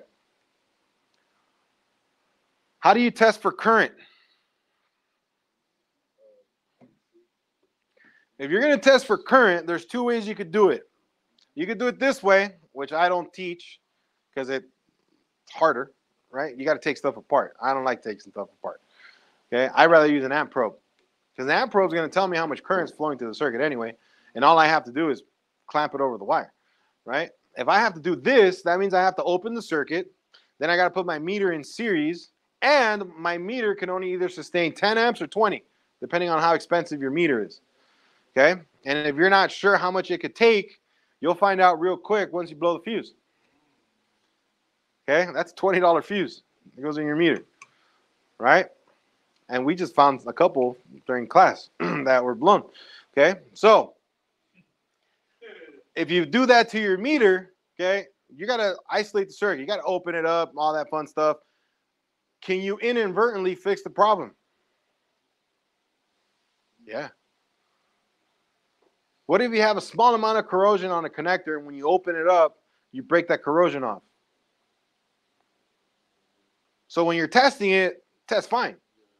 So now you put it back together, and now you can't duplicate the problem anymore. You just fixed it. Okay? Without knowing. Okay? Another thing I teach is this. If your customer comes in and says, after driving 30 minutes, I have this problem, it's electrical. How do you know that? Because what happens over time? What's a byproduct of current? Heat. Yeah. So imagine you're driving down the road and you have an electrical connector doing this shit. Right? It's loose. So over time, is it going to get hot? So once it gets hot, is that going to affect resistance? Yes. So resistance gets affected. Is the circuit going to get have a problem? Yeah. Okay, so that's why we interview the customer. Car comes in, we always ask them, when does it happen? How long does it take to happen? 15, 20 minutes. Okay, cool. This shit's gonna be like electrical. Right? Just think about it that way. Okay. This is why we also tell you guys whenever you're gonna a car comes in for a diag, you need to talk to the person who drives it, not the wife, not the son, not the grandson, the granddaughter, whoever drives it. Because they can tell you how to duplicate that problem. Okay. Another thing we do is we go on a road test with them. So that way we can see how they drive the car for the problem to reoccur. Okay, most shops don't do that. So now you're guessing at hopefully that's the concern they have. Okay, I started doing that after I misdiagnosed the car. Car came in, customer's like, oh, it has a noise. I found another noise. I fixed another noise. Okay, and then after they picked it up, she came back. She's like, you didn't fix it. It's like, what do you mean? Right? We go on a road test, like, oh, that noise. Like, fuck, right? Okay, so stops making the noise? Yeah, all the time. yeah, white coat syndrome. The car gets scared, like, oh shit, I'm at the shop. Yeah. and that's why we go road test it with them. If they can't make the problem reoccur, then at that point it's like, I'm not making this shit up. Like, if you couldn't do it, how do you expect me to do it? Right? okay. Plus, how many guys do this to make money? If you don't, you're in the wrong business, right? When you go on a road test with them, you also call out shit you hear, see, right? You're going down the road, they hit a bump, and you hear a ball joint pop, call that out. Okay, you heard that? And then shut up. Okay, that's it. Just call it out and shut up. It serves two purposes. One, when they get back to the shop, there's a higher likelihood of them telling the service advisor, he called something out. Can you guys check that? Absolutely. That's another line item. Okay, now I'm going to charge you to check that. If they decline that, document it. Why? Because when they pick it up and they hit the railroad tracks and they hear that pop and they bust a U turn back to you and tell you, since you did my oil change, this shit's popping, it's like, ah, uh-uh. Remember we went on road test? Remember we documented this? And you said no? You want to fix that now or do you want to keep playing games? Okay. Huh? Never. Never. Yeah. Okay. So imagine you hear that pop and you're like, oh, I, I think that's a strut. They're sold on that strut. So if they tell you go ahead and check it, and you rack it, you find out it's a ball joint, you call them and tell them, oh, it needs a ball joint.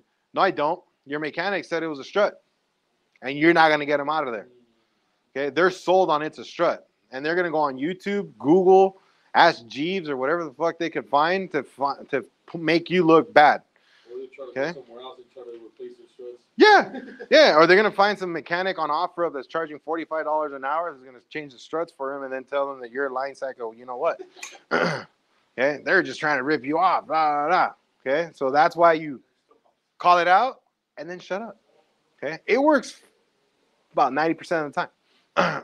All right, so one of the ways that we can figure out if we have an electrical problem is to first do the math and predict what we're going to be expecting, just like we were talking about earlier, right? So this right here is our test light. How many of you guys take the time to know how much current your test light draws? Okay. Ours draws 226 milliamps. Okay. Our light bulb that we use to load circuits, one the low side is 500 something milliamps, and then the high side is 2.1 amps. Okay, we also use a sealed beam for fuel pumps. If we stack low and high together, it's 7.8 amps. Why do we need to know that? Because if you're going to substitute or plug something into a circuit and you don't know how much current that circuit can sustain, you could just buy yourself a computer. Okay? So now that I know this, and by the way, I got this at Harbor Freight. So if you guys buy one at Harbor Freight, it's roughly about the same amperage. Okay. So this one draws 226 milliamps. Can I put it in a circuit that draws 120? Yeah. But I can't put it on anything that's above that. Okay. So why? Because at this point, we could cause a problem. Okay. So make sure that you guys are testing out your equipment before you guys actually put it in. And actually, I just caught myself. If it's lower than that, we got a problem. It has to be higher than that. So if the circuit you're testing draws 500 milliamps, you can use this light. But if it's a 120 milliamp circuit, you cannot use this light because you're going to burn that circuit. Okay. You guys ever heard somebody tell you you never use a test light on a computer controlled circuit? Okay. I use them all the time. Just as long as you know how much. But I know how much it's going to draw. Okay. Me and Jose fixed a BMW that came in with a fried DME. I went to the dealer. The dealer sold them a fuse box. Okay. All it was was coil cylinder three burned out. The coil shorted, took out the PCM. Okay. You know how we figured it out? With a light bulb. All we did was plug in the light bulb into the circuit as if it was a coil because it's an electronic component. It's not like the computer's gonna be like, oh shit, that's not a coil. I'm not gonna light that up. Right? It's electrical. Doesn't know. So we put a light bulb on it, key on engine off, the light was on. That's not normal. That would mean that your ignition coil, key on engine off, is firing. Okay. So then we ran the car with the car running, it was still on. Okay. And it wasn't pulsing. So we're like, all right, cool. Yeah, it's just done. It's a goner. So we recommended a DME and a coil. Put it on, take care of the problem. BMW, but so you know that's leaking oil and all kinds of other shit. But that took care of the issue. And how did we figure it out? It was using a light bulb. Okay. If you guys spend the money and you buy yourself a power probe, know how to use it. Okay. Do this. Read the manual. Right. The power probe has a lot of good features, but it can also blow some shit up. Okay. Look what I put on here. If you, you ever use a test light on a safety restraint system, you're going to pop the airbag. Okay. Any resistance on that circuit, that's just going to pop. All right. So be careful with that. Okay. And the reason why we mark them is because we use them to substitute loads. It's much easier for me to see the brightness of a bulb than it is to look at a diagram or a waveform. Right. If my bulb is bright, is that circuit okay? Yeah. If it's dim, is it okay? No. How many of you guys take the time to load a circuit when you change a fuel pump? Okay, that hasn't happened to you yet. How many of you guys have replaced the same fuel pump on the same car multiple times? It, that's when I figured out that I need to start load testing fuel pump circuits. Okay, Where's you Chevy. Those are excluded. except Chevy, right? But how do you prevent that? You got to keep fuel in the tank. Okay. So you know what me and Jose start doing when we get multiple failures on the same car? We talk to the customer, but we don't ask them, "Do you run your tank low?" Because they're always going to say no. Okay. So it's the way you ask, right? We'll go up to a customer and tell them, "Hey, if your fuel light comes on, do you know how many miles you could drive before it runs out of gas? Oh, about 35 miles. Huh, fucker. Right? So at that point, what did they just tell you? I run this, I run this shit low. Okay. So then when we warranty it out, we document that. Then we talk to them about it. You know, you just told me that you run your car with no fuel in it, right? So that's why your fuel pump keeps going out. This is the last one I could do. Okay. So you do that. All right. But obviously, we load test the circuit because we want to make sure that circuit can sustain that load, right? And we use a sealed beam bulb for that. Got that from AutoZone, got the connector for it, put some stackable ends on it, works like a charm. All right, so if you get a diagram like this one, it shows 12.5 volts and you're on the negative side to the negative side. What's wrong with this circuit? Now remember, you got two minutes per question on an ASE test to figure it out. Put the music. Do, do, do, do.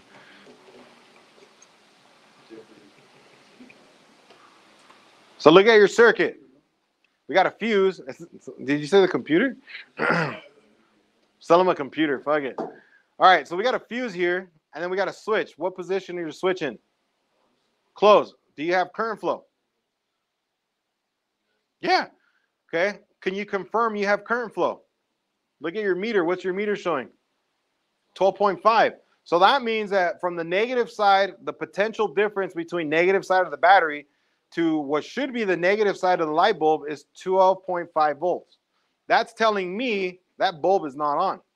That's telling me I'm missing a ground. Do you guys see why I'm calling it a bad ground?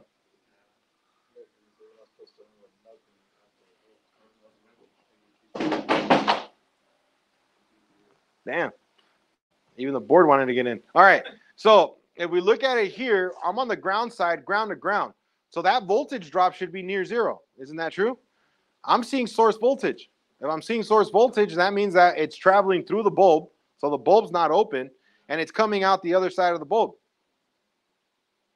If I had ground here with this switch closed the way it is, this light bulb should be on. Isn't that true? Because it's not on, it's missing one of two things power or ground, right? Your voltmeter is showing you you have the potential to work, but it's not working. So, what's the only obvious thing that might be missing here? Ground. Okay, you guys see how we came across that? Yeah? Okay.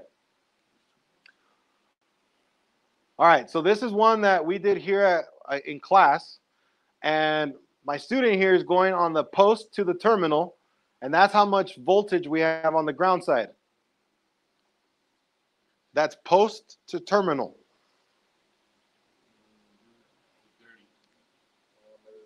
That was a, that was a good fix, by the way. Okay. So what's wrong with it? It's a huge voltage drop. Okay. And my student's watching. She knows who she is. Right? Jose knows who she is. That's why he's laughing. Yoshi. All right. So if we look at this one right here, okay, these are common tests that most shops won't run. And if you would have looked at that electrical connection, it would it looked okay. My in my eyes, they didn't, but for the average tech, it would be like, yeah, that shit looks fine. Okay. And that was the whole problem. Okay, the initial concerns, you turn on turn signals and stuff, the car would go haywire. Dash would turn off. Okay. And then when the when we pulled it into the shop, the lights were flickering. Okay, especially if you stepped on like the brakes and it was raining that day. So wipers were on and it would get worse. Okay, that's because we didn't have a good ground. All right, And all we did, well, actually, all they did was fix that ground. They cut the wire, added a new end. We cleaned it off, added some Stabilant 22, put it all back together. Okay. Can you imagine that ending up at the wrong shop? What they would have thrown at it? Body control module. Right? I, I would have seen a couple modules going at this shit. Yeah, and then if she only had one key when they were doing computers, then they just had another key for the programming, right? So that shit would have got expensive real quick. Couple thousand bucks. And then they'd be like, damn, I didn't fix it. Okay. Then they would ship it off to the dealer, where they would probably throw more parts at it before they call engineering. Okay. So you see why people do not wake up excited to go get their cars worked on? For that that kind of problem. Okay. All right. You guys are gonna get a question on the state on the ASE exam about CAN bus. What two pins does CAN bus work on on a car? You guys don't know the pins by memory? Jesus. Okay. Chassis ground is four. Sensor ground or PCM ground is five. Pin 16 is unswitched battery power. Pin two is GM. Okay. VPW. Pin two and 10 is Ford PWM. Um, six and 14 is CAN. Seven and 15 is ISO 9141 2 or keyword protocol. Okay. So when you're talking about CAN, CAN is always on pin six and 14. Okay, and you need to remember this for testing and for the shop. You're working on a CAN car and you have a communication fault, a U code, where are you going to go look for it? Pin 6 and 14. Okay? What we're showing you guys here is CAN bus at idle, okay, or in a recessive state is at 2.5 volts. When CAN begins to communicate, CAN high goes up 1 volt, CAN low goes down one volt. So when CAN begins to talk or any module begins to communicate, send data packets, okay, CAN high goes from two and a half to three and a half volts. CAN low goes from two and a half to one and a half volts. Okay. This is what you that's all you need to remember for the ASE. Right. When you're in the field, it's a whole different ballgame because you're gonna need a scope, you're gonna need a lot of patience to then start figuring out which module is the one that's not talking. Okay. Pin 6 and 14. Okay. So recessive state is when it's at two and a half, a dominant state, down one, up one. Okay. That's the best way to remember it. When it's talking, up one, down one. Okay. That's it. That's all you got to remember. Right? that was a good final, by the way. okay, if you guys are looking at a wiring diagram, where are you going to find the powers on any automotive wiring diagram? The top. Okay, and if you ever have a hard time remembering that, just remember when you stand up, what are you standing on? The ground. So where's the ground going to be on a wiring diagram? At the bottom. Okay. If we have a dot like we do here with S101, is that a splice? Do those wires interconnect? Based off of what you guys already know, where is splice 101 located? In the engine compartment. Okay? Remember, you guys need to remember that? All right? Any questions on this before we move on from here? Okay. Um, on the color code, you guys just need to be kind of aware. BL, BLU is for blue, BLK is for black. Okay, the first color you see is going to be the whole solid wire. Second color is going to be a stripe. Okay, so if you see BL and then RD, that's a blue wire with a red stripe. Don't go looking for a red wire with a blue stripe because you'll find it. It's just not going to be the right wire. Okay, so you fuck up on the wire, excuse my French, you're gonna burn some shit out, or you're gonna sell a part that was actually good because you tested the wrong circuit. Okay, so you gotta be careful with that, especially if you're gonna end up looking at a wiring diagram or testing directly at the PCM.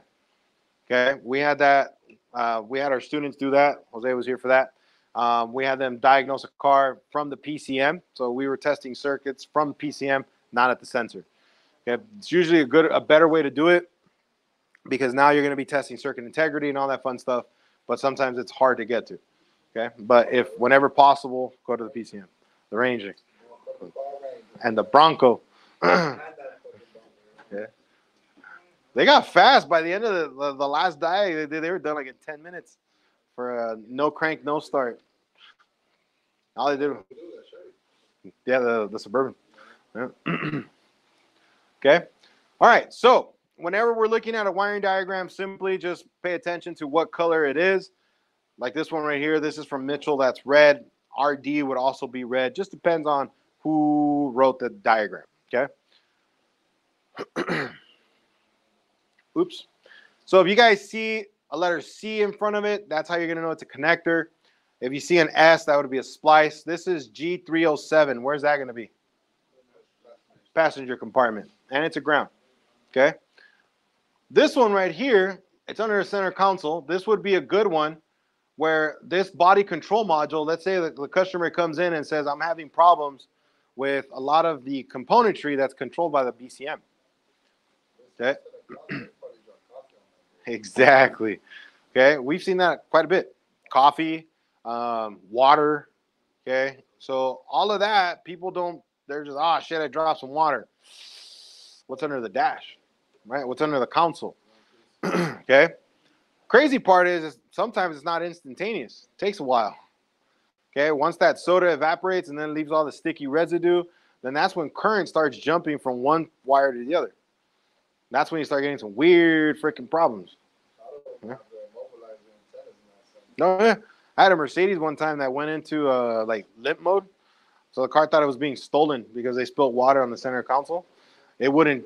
It, you couldn't get it out of drive. You couldn't unlock it. The alarm was just going off. It was a mess because they dropped water in the center console. Okay. And the customer didn't say that, so you gotta. Yeah, they never freaking tell you. Yeah, cu- customers are sneaky bastards. Um, and their mind is, if I tell him, I want to see how good he is. I'm not gonna tell him shit. Uh, so, yeah, that's one of the reasons why the way we do things. Um, the service advisor, Des, our service advisor, does all the talking to the customer. We created an interview sheet where a customer fills that out, and then we take a picture of that, and put it on our RO. So this way, when we're in the back, we get to see that interview sheet. It helps us a lot better. And then it's not a guy asking that information; it's a girl asking that information, right? So typically, if it's a guy talking to her, he's more open to share information. If it's a girl, she feels more comfortable because she's a girl, so it's easier, right? Um, I've been to shops where there's a guy behind the counter, and you see a guy walking in with a guy behind the counter. First thing we call it the ram effect, right? They're both chest out, kind of like ready to fucking rock and roll. But in reality, that's just creates headbutting. Okay, so if you guys own a shop, throw a girl in the front. It's much better. okay, you're gonna get a question that looks something like this. How many of you guys have ever tested a rear defroster or defogger? Okay, we've only had to test a couple after they got replaced and then they were not, were not operational. Okay, so one of the ways you can test this is using a voltmeter. You're usually going to have positive side on, on one, ground on the other, and current's going to flow through across it. Okay, what you want to do is using your voltmeter, you can kind of go moving it across, making sure you have voltage all the way across. Okay, if the point where you get to where you don't have voltage, you know you have an open circuit. Okay, so then at that point, how do you repair that? You're replacing the whole window. Okay, so the whole winch, the whole rear window needs to get replaced. So last one the guys worked on was one that got replaced by a really big company that replaces windows, and they they didn't plug it in. I, I don't want to say the name, but yeah, they they didn't plug it in. Okay, uh, we tested it and there was power and everything going in. We just plugged it in and it worked. So then we just charged the lady for the diag and shipped it on its way. Okay, so it's not always going to be something complicated. All right. Okay, this one comes directly from ASE. I'm not going to tell you that this is on the ASE test that you might be taking, but this is something what you guys would be seeing when it comes to wiring diagrams. So if we look at this diagram, let's say they give you a question that says that the cooling fan is inoperative, right? Where's your ground coming from? Is that independent or does that come from a relay or is that computer controlled? For the fan motor. It's independent, it's by itself, right? How do we control this fan? Power or ground control? Okay, power. Where's the power coming from? Fan relay, right? So if we look at this, we have a fuse up here. This fuse sends power down to the relay, right? And then we also have this ground control to the relay. And then this one has power coming up from this particular fuse. So at this point, right here, this is hot at all times. So would you guys agree that we should always have power at pin C of the relay? Okay. Then when this ground from the PCM closes, now this relay magnetizes, closes here, and now current comes out of pin D. Is that true? Okay. So what you're going to be looking for is an answer that only affects that fan relay. Because the question they're telling you is only for what? The fan. Okay. Don't start thinking, well, what if it's the AC relay or maybe the HVAC module is bad? No, you're overthinking it. Only diag what's in front of you. Whatever they put on paper is what you're going to be looking at, right? Okay. Here's another one. What's pin 6 and 14 of the DLC? What's 6 and 14 of the DLC? CAN. There you go. All right. So if I go across pin 6 and 14 with the ohm meter, how many ohms of resistance should I see?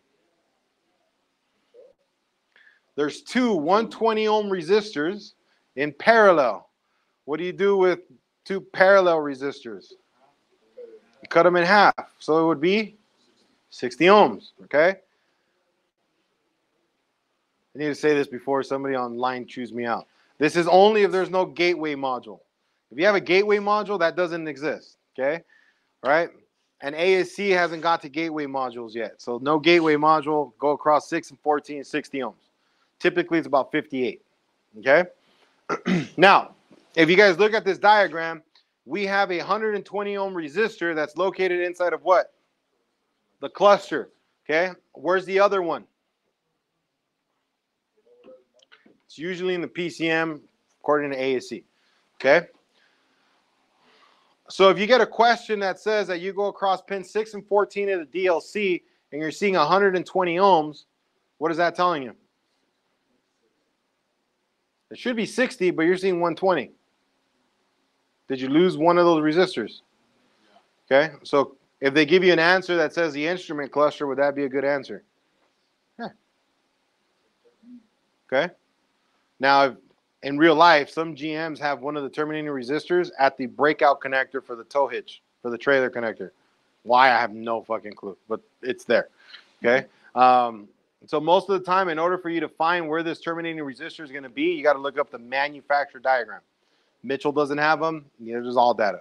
The where we found them before is MotoLogic and Identifix. Okay. Or what you're going to do is you're going to pay for the the subscription for the manufacturer and then get the diagram off of there. Okay. Somebody making fun of me online. ah, ha, ha. See? You see? I, I knew it was coming. Okay. Yeah, I forgot I was live. Yeah. Yeah. They were like, come on, come on, come on. right? Jeez. like he he missed it. No, there you go. See, that's why I got Jose checking it out in the back though. Got this. All right. So again, this is this comes directly from ASE. This is the composite vehicle. So after you guys pass your A6 and A8, you're gonna take the L1. Okay, I'm not telling you you might. You're gonna take it. Okay, because if you have A6, A8, L1, you're valuable just with those three. Okay. So this comes from the composite vehicle. Notice how we have one 120 ohm resistor located inside the PCM, and where's the other one? Cluster. Okay. So if you guys, well, I know you guys haven't taken it. So the L1 composite vehicle is basically like Mitchell for the car you're working on during that whole 75 question test. Okay. So you need to know how that car is operating, systems, all that fun stuff, and that's where you find it in the composite vehicle. Okay, so I stole this from the composite vehicle to show it to you guys. So if you were to get a question while taking the L1, about showing 120 ohm, 120 ohms of resistance, that means either PCM's gone or the cluster's gone. Does that make sense? Okay, because those two are in parallel. So we got two of them, that should be 60 ohms, right? Okay, so let's do a quick review here. So if you guys are using your voltmeter and you're on the negative side of the battery and then on the negative side of the light bulb and you're seeing 12.6 volts, what's wrong with that circuit? Quickly. Ground issue? Why is it not the light bulb?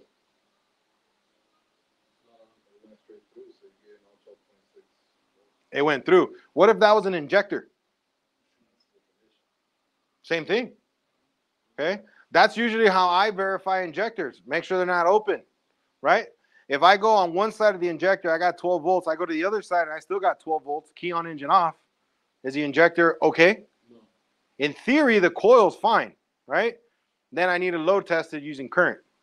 Does that make sense? But if it went through, it's not open. Is it shorted? I don't know. Right? But I can tell you it's not open, right? So that injector is not open electrically. Does that make sense? Okay, same thing there. If they went through that light bulb, is that light bulb burned out? No, you could replace them all the ones you want. It's still not going to work. Where's your problem? Ground. Okay, can I run a supplemental ground and see if it turns on? What if I ground it and it turns on? Did you just figure out what's wrong with it? Yeah, sell them a power probe right? Just tell the customer, hey, look, look, when it doesn't work, just hit this button and it'll fucking work, right? you guys know Harbor Freight sells power probes though? Really? Yeah, that's amazing. Really cheap? No, it's about the same. I was pretty excited though. That's gonna give us more work. When, when all when all these people get their twenty percent coupon, go buy one and blow some shit up. It's, it's great. All right, so we got another one here. Okay, this one has a relay, and then we got two meters. Okay, meter A is before the relay, showing 12.5. Meter B is after the relay, still showing 12.5. What is that telling you about the relay? What's the condition of that relay? On or off? The switch is on, but the shit is on. So the relay, if I'm seeing source voltage before the relay and source voltage after the relay, isn't it true that that relay is on? Yeah. Okay. If Not it would only show on one end, right? Right. So if this relay was not on, I'd have 12 volts here, but I'd see zero here. Does that make sense? Okay. So if you guys were, if they were to give you any question on this, with this being open, is that true? No, because that relay is closed and there's current flowing through it, right? And then we could confirm that because what's wrong with this light bulb? It's on. That means there's current flow. Okay. Here's another one. Okay. We call this pinpoint testing, which in the field, you, this is what you guys should be doing to find electrical problems, right? At what point are we testing and what should I expect to see at that particular point, right? So we look at the first one after the ignition switch, I got 12.6 volts. Is that okay? So that means my switch is on because it's flowing voltage through it, right? Then I get to my motor switch. Before the motor switch, I have 12.6 volts. So that means from the switch to the motor switch, I'm okay, right? From there, I got another voltmeter in volts, and I'm going to cross the actual load. Wouldn't it be true that this motor has to use up all 12.6 volts? How much is it using? Six.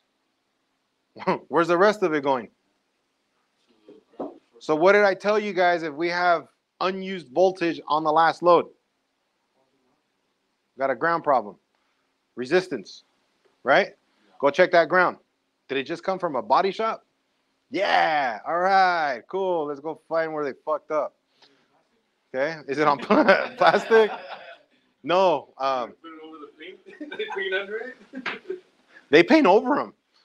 We've we fixed a lot of painted over grounds, or or or they just don't put it on. They're like ground strap. Fuck it, we don't need it. Yeah. Yeah. Well, I mean, I shared a story with you guys on a Mercedes I diag. Okay. Check this one out. Mercedes drives into a transmission shop, right? Okay. It drove in. They do the transmission and then they push it over to the shop I was working at because they wouldn't start anymore. Good one, huh? Okay.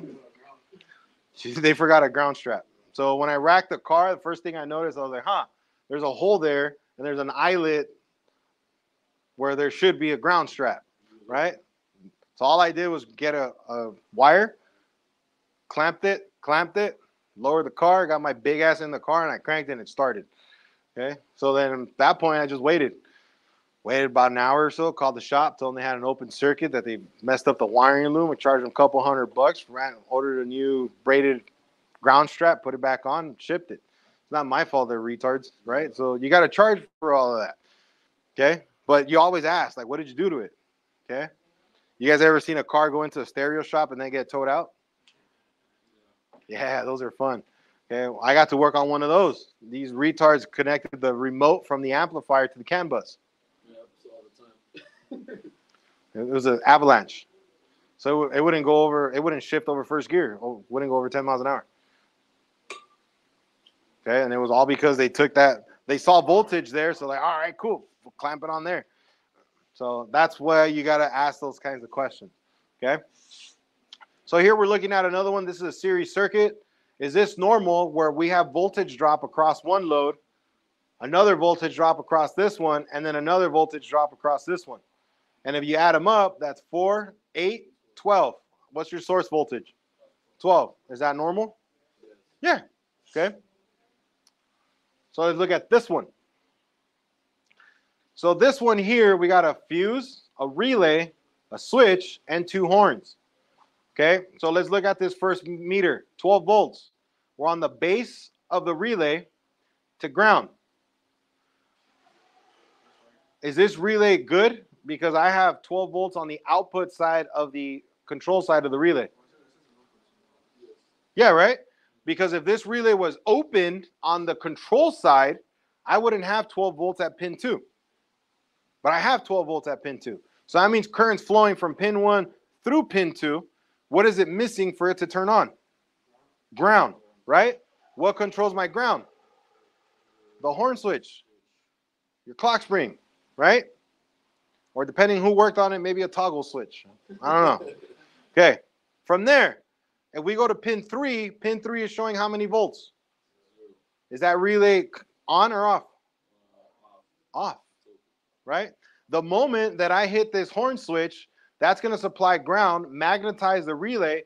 Then now I'm going to have power coming in through pin five, out through pin three. And what's going to happen to my horns? They're going to work. Okay. What about this one? I got zero volts going across the relay from the input side to the output side of the control side. What is that telling you about this fuse? It's open. So if this was a, a, diagram on the ASE exam and they show you that exact thing, is it bad ground? No, it's a fuse. And we could confirm it's a fuse because we're going across the relay and we have zero volts. So that means there's no what? There's no power feed. That makes sense? Okay, my job as a tech, if this was a real car, it's not just to replace the fuse. I need to figure out what the hell drew enough current to blow the fuse. Okay, and if I look at this diagram, what's the only thing on the diagram that could blow the fuse? The horn. Was it was it in an accident? Right? Okay. We gotta those are the kinds of questions we gotta ask.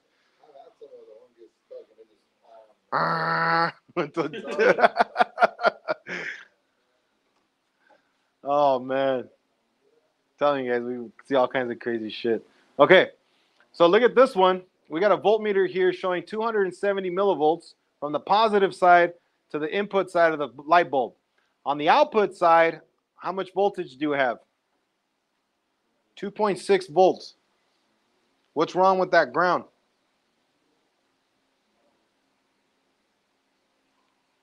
So your power feed again from positive to positive is 270 millivolts. From ground to ground, 2.6 volts. What's wrong with it? I got excessive voltage drop. Could it be corrosion? Bad connection? Body shop painted over it? They put it on plastic, right? Okay. All right. So right here, we're testing the resistance of this injector. If it has 11 ohms of resistance and you have 12 volts going to it, how much current is it going to draw? A little bit over one amp. True? So if you know that and you go test it and it's drawing two amps, what's wrong? Is the injector bad? Yeah. Yeah, resistance went down. That makes sense? Okay. So on this one, we got two lights here. We got a ground that splices to both of them, and then we got power feeds to both. I'm on the power side and the ground side, and I got 8.3 volts. Do you have a problem there? Is it the ground or the power?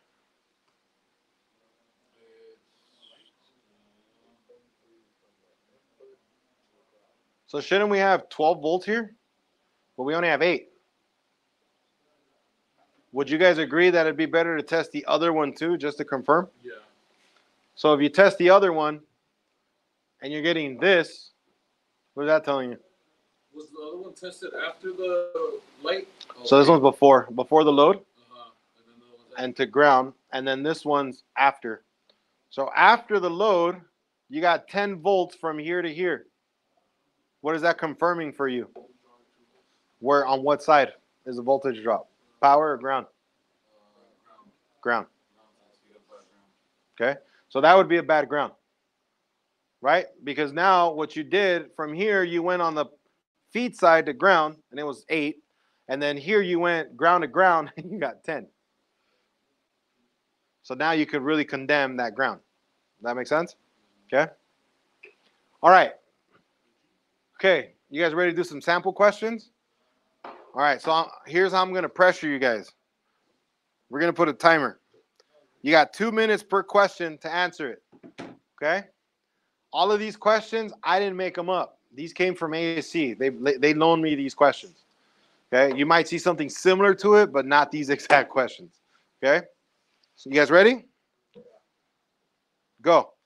So in charging system shown with the engine running, the digital multimeter will display. So if we look at this diagram here, here's my multimeter, here's my uh, alternator. So I'm connected on the output side of the alternator to the positive side of the battery. Are we doing a charging output voltage, regulator operating voltage, charging circuit voltage drop, or ignition switch voltage drop? C, A, A, okay.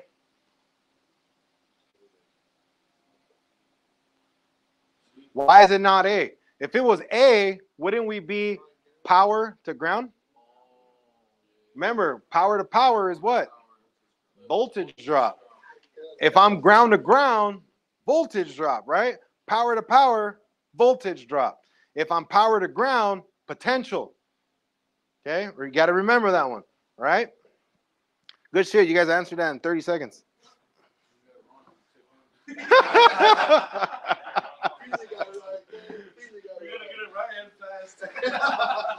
Important part, huh? Get it. Get, When I was getting tested, you know, like I go in quick and fast, bro. Don't think about that. just it. ah. I felt that shit. Don't trip. All right, ready? Let's go. Next one.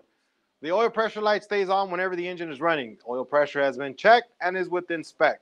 Technician A says that the ground circuit between the indicator light and the pressure switch could be the cause. Technician B says that an open in the pressure switch could be the cause. Who is correct? B. Nice. 20 seconds. B. B, B, B.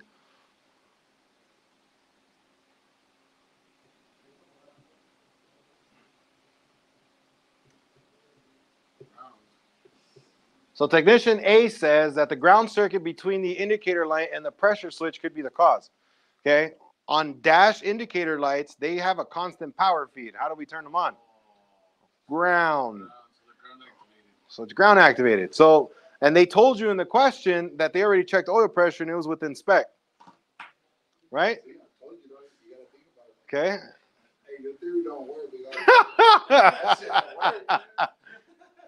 You guys missed the key word here.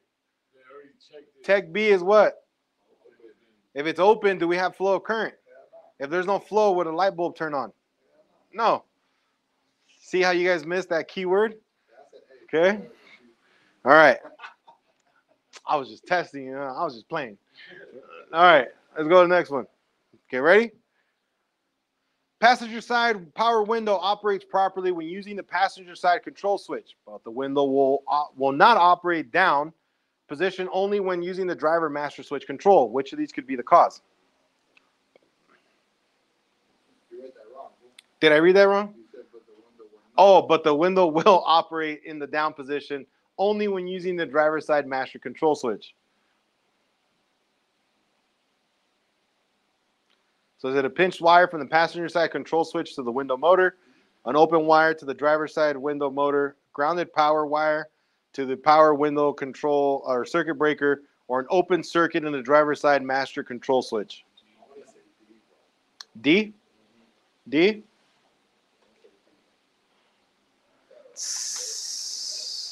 Look at you. In 54 seconds, you guys got that one.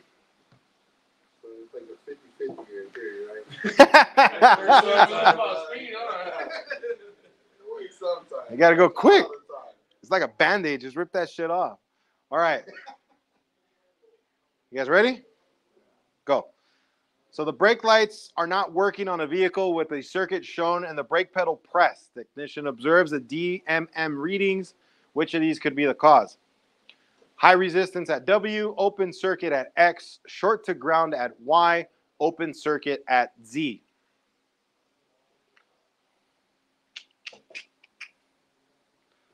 Oh, that's an easy one.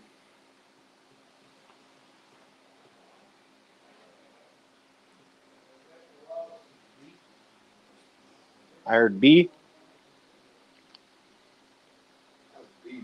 B?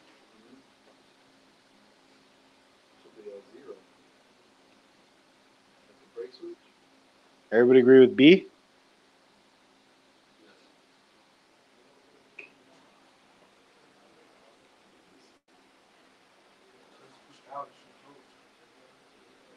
What kind of test are you doing across that switch? This one is a voltage. We're going to cross it, right? So that's a voltage drop test. Am I seeing source voltage? Yeah. Yeah. So that means I have ground on one side, power on the other. So I'm reading potential, right? Okay, so what is that indicating to you? Open switch, right? If there was current flow there, it should be under 300 millivolts, right? 0.3. Does that make sense? Okay. You're going to get a lot of those. All right, ready? Go. So technician A says a fusible link in the alternator charging circuit is replaced with system size wire. The circuit will be unprotected. Technician B says if a fusible link in the alternator charging circuit is replaced with system sized wire, the battery will overcharge. Who is correct? Which one would you not let work on any electrical vehicles?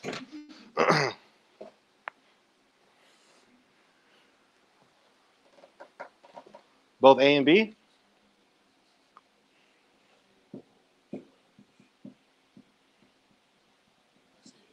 A? Okay.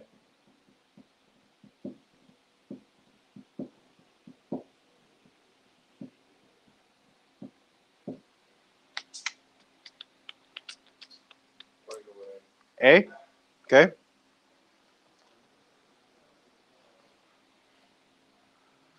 Anytime you replace a fusible link, which is older technology, it's two. It Just bypass it. Fuck it. It's it's two American wire gauge smaller than the circuit it's protecting. Okay, so A was right. I would take on this one and the one before. So this one you guys took 55 seconds. Before this, Uh, that's about the same. and we're fucking smart. You guys are doing good. As long as we get them right, time's not the problem. Go. Starter solenoid clicks, but the starter does not crank the engine. Technician A says a burned solenoid contact could be the cause. Technician B says that a poor battery cable connection could be the cause.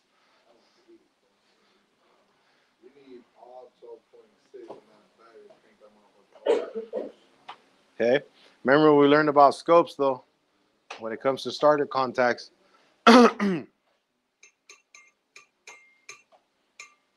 A, B, C, or D. Pick your poison. C? Okay.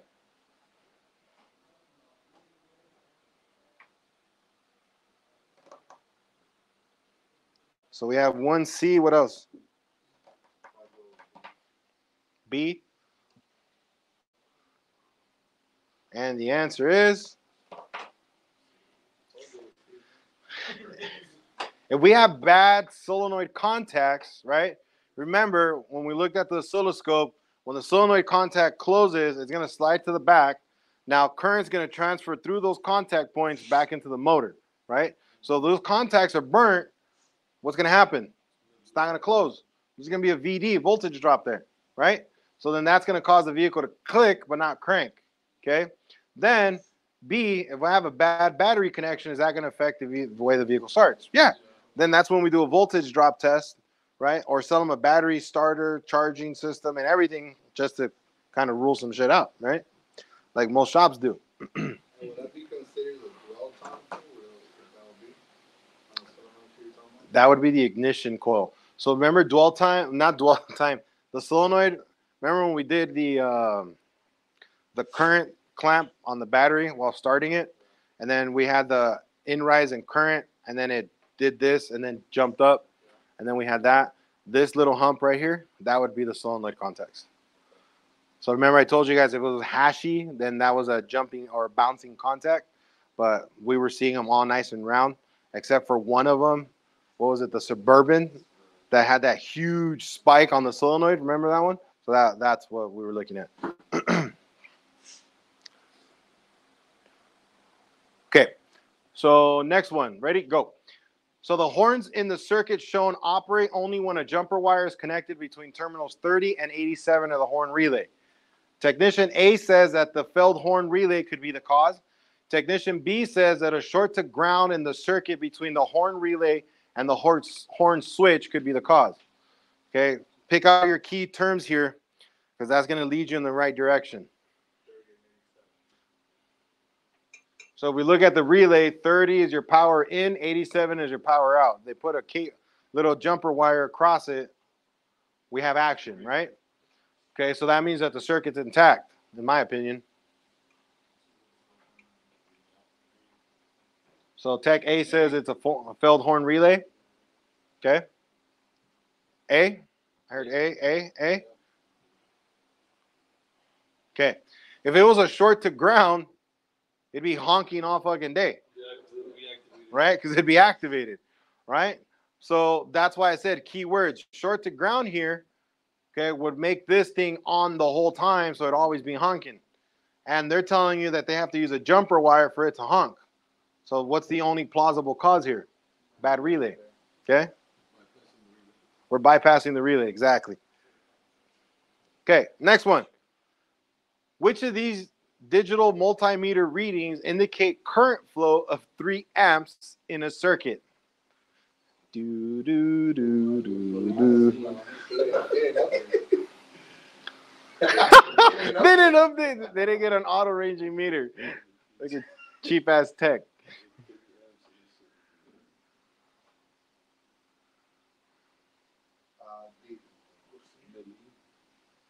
D. Okay. C. Okay. see? Okay. So remember, for every 1,000 milliamps, it's one amp, right? So if we got three amps, it's 3,000 milliamps. And yes, he needs a new meter. If you have to do that kind of calculation, you need a meter. Okay? You need a Fluke 88 version 5. All right. Go. Any of these would cause high starter current. Keyword except. Okay? So these are usually going to kick your ass if you miss except.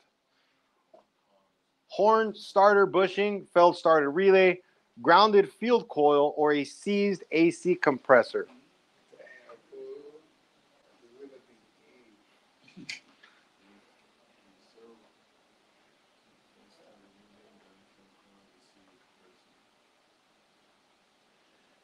be E. This is an easy one.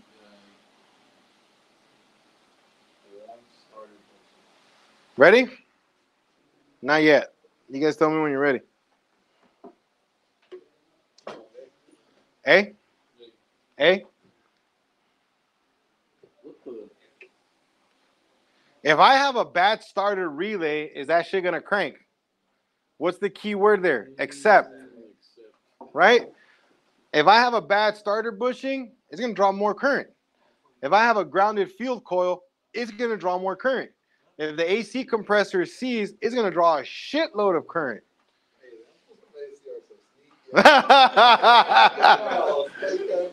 But if I have a bad starter relay, it won't even crank. Does that make sense? Okay. You got to read through them. Keywords. Okay. Except. So when it says except, the only one that stands out here is what? Bad relay. If the relay doesn't work, that shit won't crank. If it doesn't crank, how the hell am I going to test it?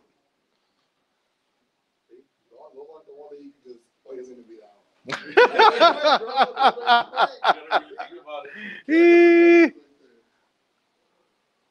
All right, guys, and that's it. okay. Based on those questions, doesn't seem bad. It's not hard. Okay. It's not hard. test on Wednesday, shit, so- It's not hard. You Right. did it or no? Nah, that was- yeah. Okay, I recertified it four and a half years ago, and I missed the perfect score by one question. It's not hard. Okay, what makes it hard? We do. You overthink shit. Don't overthink it. Are they gonna ask a lot of questions regarding like the pins for relay? No. What about for uh, home block? Like calculating it, like one or two.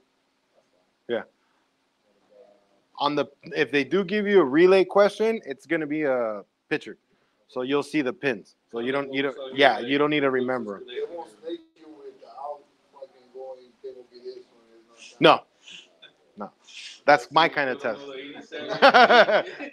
No, that So the outgoing is Yeah. So if I got a short to ground on pin 85 of the relay, right? No, they're not gonna do that. Um, it's mostly diagrams, a lot of voltage drop. Okay. And the one thing I'll tell you guys is this you read your question, then you read your four answers, and make those answers fit your question, right? Right off the bat, there's gonna be two that you can kick right out of the way, right? Then work on those last two. If after about a minute or so you can't figure it out, there's a button there that you can flag it. Flag it. Move on. Don't waste your energy on that one question. Okay. Here's why. I read I write a lot of tests. Sooner or later you're gonna run into a question that answers that one. Okay. So just keep going through your test, right? And then you'll be like, oh shit, I remember that one. You already flagged it. That's fine. Keep going. When you get to the end, go back and answer the ones you flagged. Once you answer those, finish your test. Get you're done. Don't go back and well, let me let me re No, fuck no. Okay. Ask Jose. He's been there. I've been there. Okay, that's why I'm telling you this. Do not. Wrong answer? Yeah, I failed test by one question, and then it's like, damn, I went back and changed one question. So it could have been it, Yeah. right? So don't do that, right? Keep in mind when you guys go take the ASE exam, they treat you like a prisoner. You're gonna show up. Here's how I'm gonna recommend you go: basketball shorts and a t-shirt.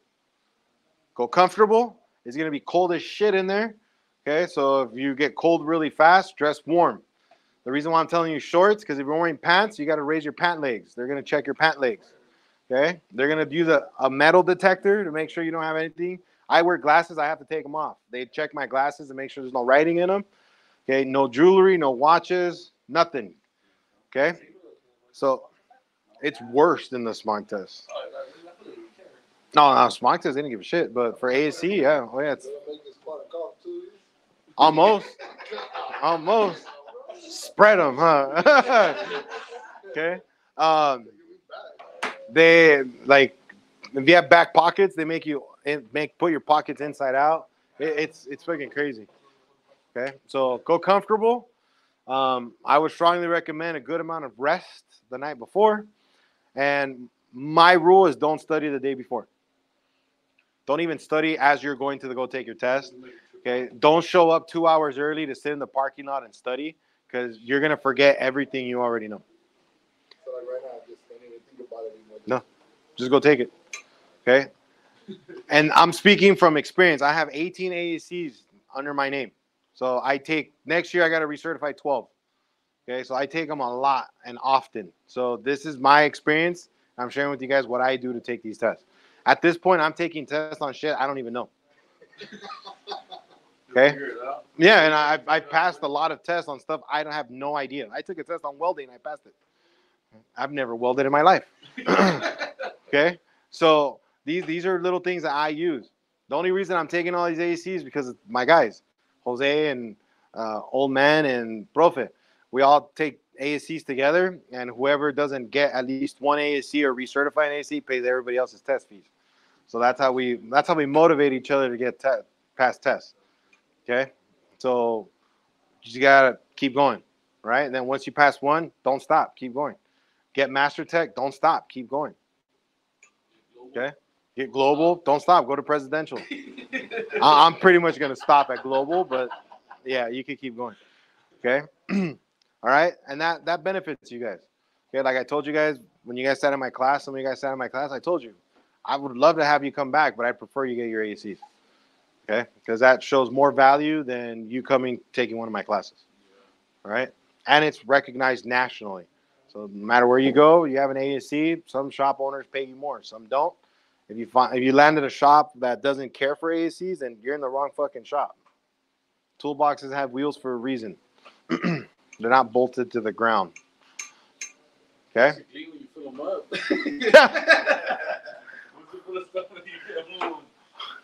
Basically, when you fill them up. Once you fill the stuff, then you get them. All right, guys. Any questions, comments, concerns? I have a question, but it's kind of off the topic. Go for it. Not off the topic, but one of my buddies replaced the transmission in a Jeep Cherokee. There's your problem. It's a Jeep. it. Yeah, it's a Chrysler. I, I, I haven't got to it, but I'm getting, I'm gonna get to it soon. Okay. My, my one of my buddies asked me for help. They said as soon as they plug in the power cable, well, they connect the battery and it starts cranking. Oh, it's a good one. And I, What year is it? saying he smashed something between the or something. More than likely. Okay. And he said he did. He um the switch, the key's not in the switch or nothing. It's just and then he unplugged the ASD? and it was still cranking. And he said there's nothing. So He uncrank. He removed the relay, Yeah, and it's still cranking. But he said there's no extra wires going to the, no power wires, no ground wires. So yeah, he probably pinched the loom when he put the transmission That's back on. thinking. Yeah. I just haven't got to it, but I was like, where do I start? Because he was like, he called me and he was like, hey, I, t- I disconnected the switch, I disconnected the relay, and it's still cranking. so So, like, smashed something. I would pull the start relay, the start wiring diagram, starting diagram, and then kind of see where everything's flowing from there. If you already removed the relay and the car's still cranking, then it's getting power from somewhere. Which is kind of hard to believe. I'm pretty sure you took the wrong relay off Yeah. because that's a high current starter Yeah. motor, and all the wiring, all the wires that go through the loom are so small they would have melted already. So he probably pulled the wrong relay. Plus, the those Jeeps have the ASD automatic Oh, shutdown yeah. relay. So if that relay is on, then this is probably still gonna crank. So if I, if I pull the, the starter relay, I could trace it from there, right? Yeah. I can check from the starter to the relay itself. VD it, or um, if you have the there's some, they sell some testing bases that go under the relay, and then it has the pins on the side. Oh, So then you can you can do a voltage drop that way. If you don't have one of those, you can do the old school way. Get yourself a small piece of wire, um, strip it on both ends, and then put it, shove the relay in there so it goes into the contacts. I don't recommend this, but this is a way you could do it. And then from there, now you got an output, and then now you can go to the starter motor and then see if you have VD. If you have VD, the circuit's uh, alive. So then now now you can confirm that yeah he screwed some shit up. Yeah, charge him. Uh, those, like sometimes they get wet, if I don't know if it got wet or rain, and what's, uh, VCMs. Grand- Oh, I think he tried switching it already too. Uh, Grand Cherokee? No, it's a uh, X-ray, Oh, regular Cherokee. oh. I think he switched to he But it, was it, st- it still has that black module with three connectors on the passenger side. That Mm, cheap ass yeah. one. Yeah. like, hey, you have an extra starter? Like, yeah. I'm like, "Well, the starter. I want to be the starter. Like, it's working. Yeah. And then he was like, the extra computer. I was like, yeah, but it's not the computer. Like, full trace it back. Yeah. He gave up on it. He gave it back to my other. They're both my friends, but he gave it back to the other one. He was like, yeah, I couldn't fix it. Like, That you you handled it? yeah, No. it it. No, it's gonna be that's gonna be something simple, especially if it happened after a transmission install. Mm-hmm. I would definitely backtrack to see what they did. So I would start right there. Yeah. Because the ones I've dealt with, those one of them had a PC bad PCM. Jose did one the other day with bad connectors, and then we had one with a bad crank sensor, but nothing like that. Yeah. yeah. I will tell you this: if you get another one that has like an intermittent stalling problem, get a little rubber mallet and then tap the PCM. If it dies, and you know it needs a PCM. Yeah. Yeah. And then if you guys need connectors, um, because you know how they break the tabs and shit, we we found a company that still makes them. Oh yeah, so Yeah. yeah. Yeah, for the whole PCM connectors. Yeah, those the, the. Yeah, they always break. Yeah, we had oh, Jose worked on one like that. They Jimmy rigged the shit out of it. Them. Any any other questions, guys? I know we stayed we stayed a little bit longer than two hours, so I apologize for that. But hopefully, hopefully you guys you guys learned some cool stuff along the way. All right. So if you guys take your ASE, you guys come back. If you pass it, come back. I'll write you a check for your test fee. All right. So you pass it, it's a win-win because you get reimbursed for it. All right. Okay. Trick is too, if you guys are going to sign up for more than one ASE, buy them at the same time, so that way you only pay one registration fee, and then you have 90 days to take the other test. Okay, so that's what I do because I take a shitload of them and it gets fucking expensive. all right. All right, guys. So I'm all set. Thank you guys for coming. I really appreciate it. Let me know when you guys pass. And then if you guys are interested tomorrow, there is an ASE A8 review for engine performance. So you guys are welcome to come by for that one as well. Uh, that one's going to be talking about more about sensor inputs, um, networks, secondary ignition, primary ignition, and all that fun stuff. So we're going to be covering a lot more on that one. All right. No, do do it after. Do it after. You'll have access. You'll have access to it anyway. You'll have access to it anyway. Yeah, I got you. Yep. All right, guys. Yeah, let's let's check it out.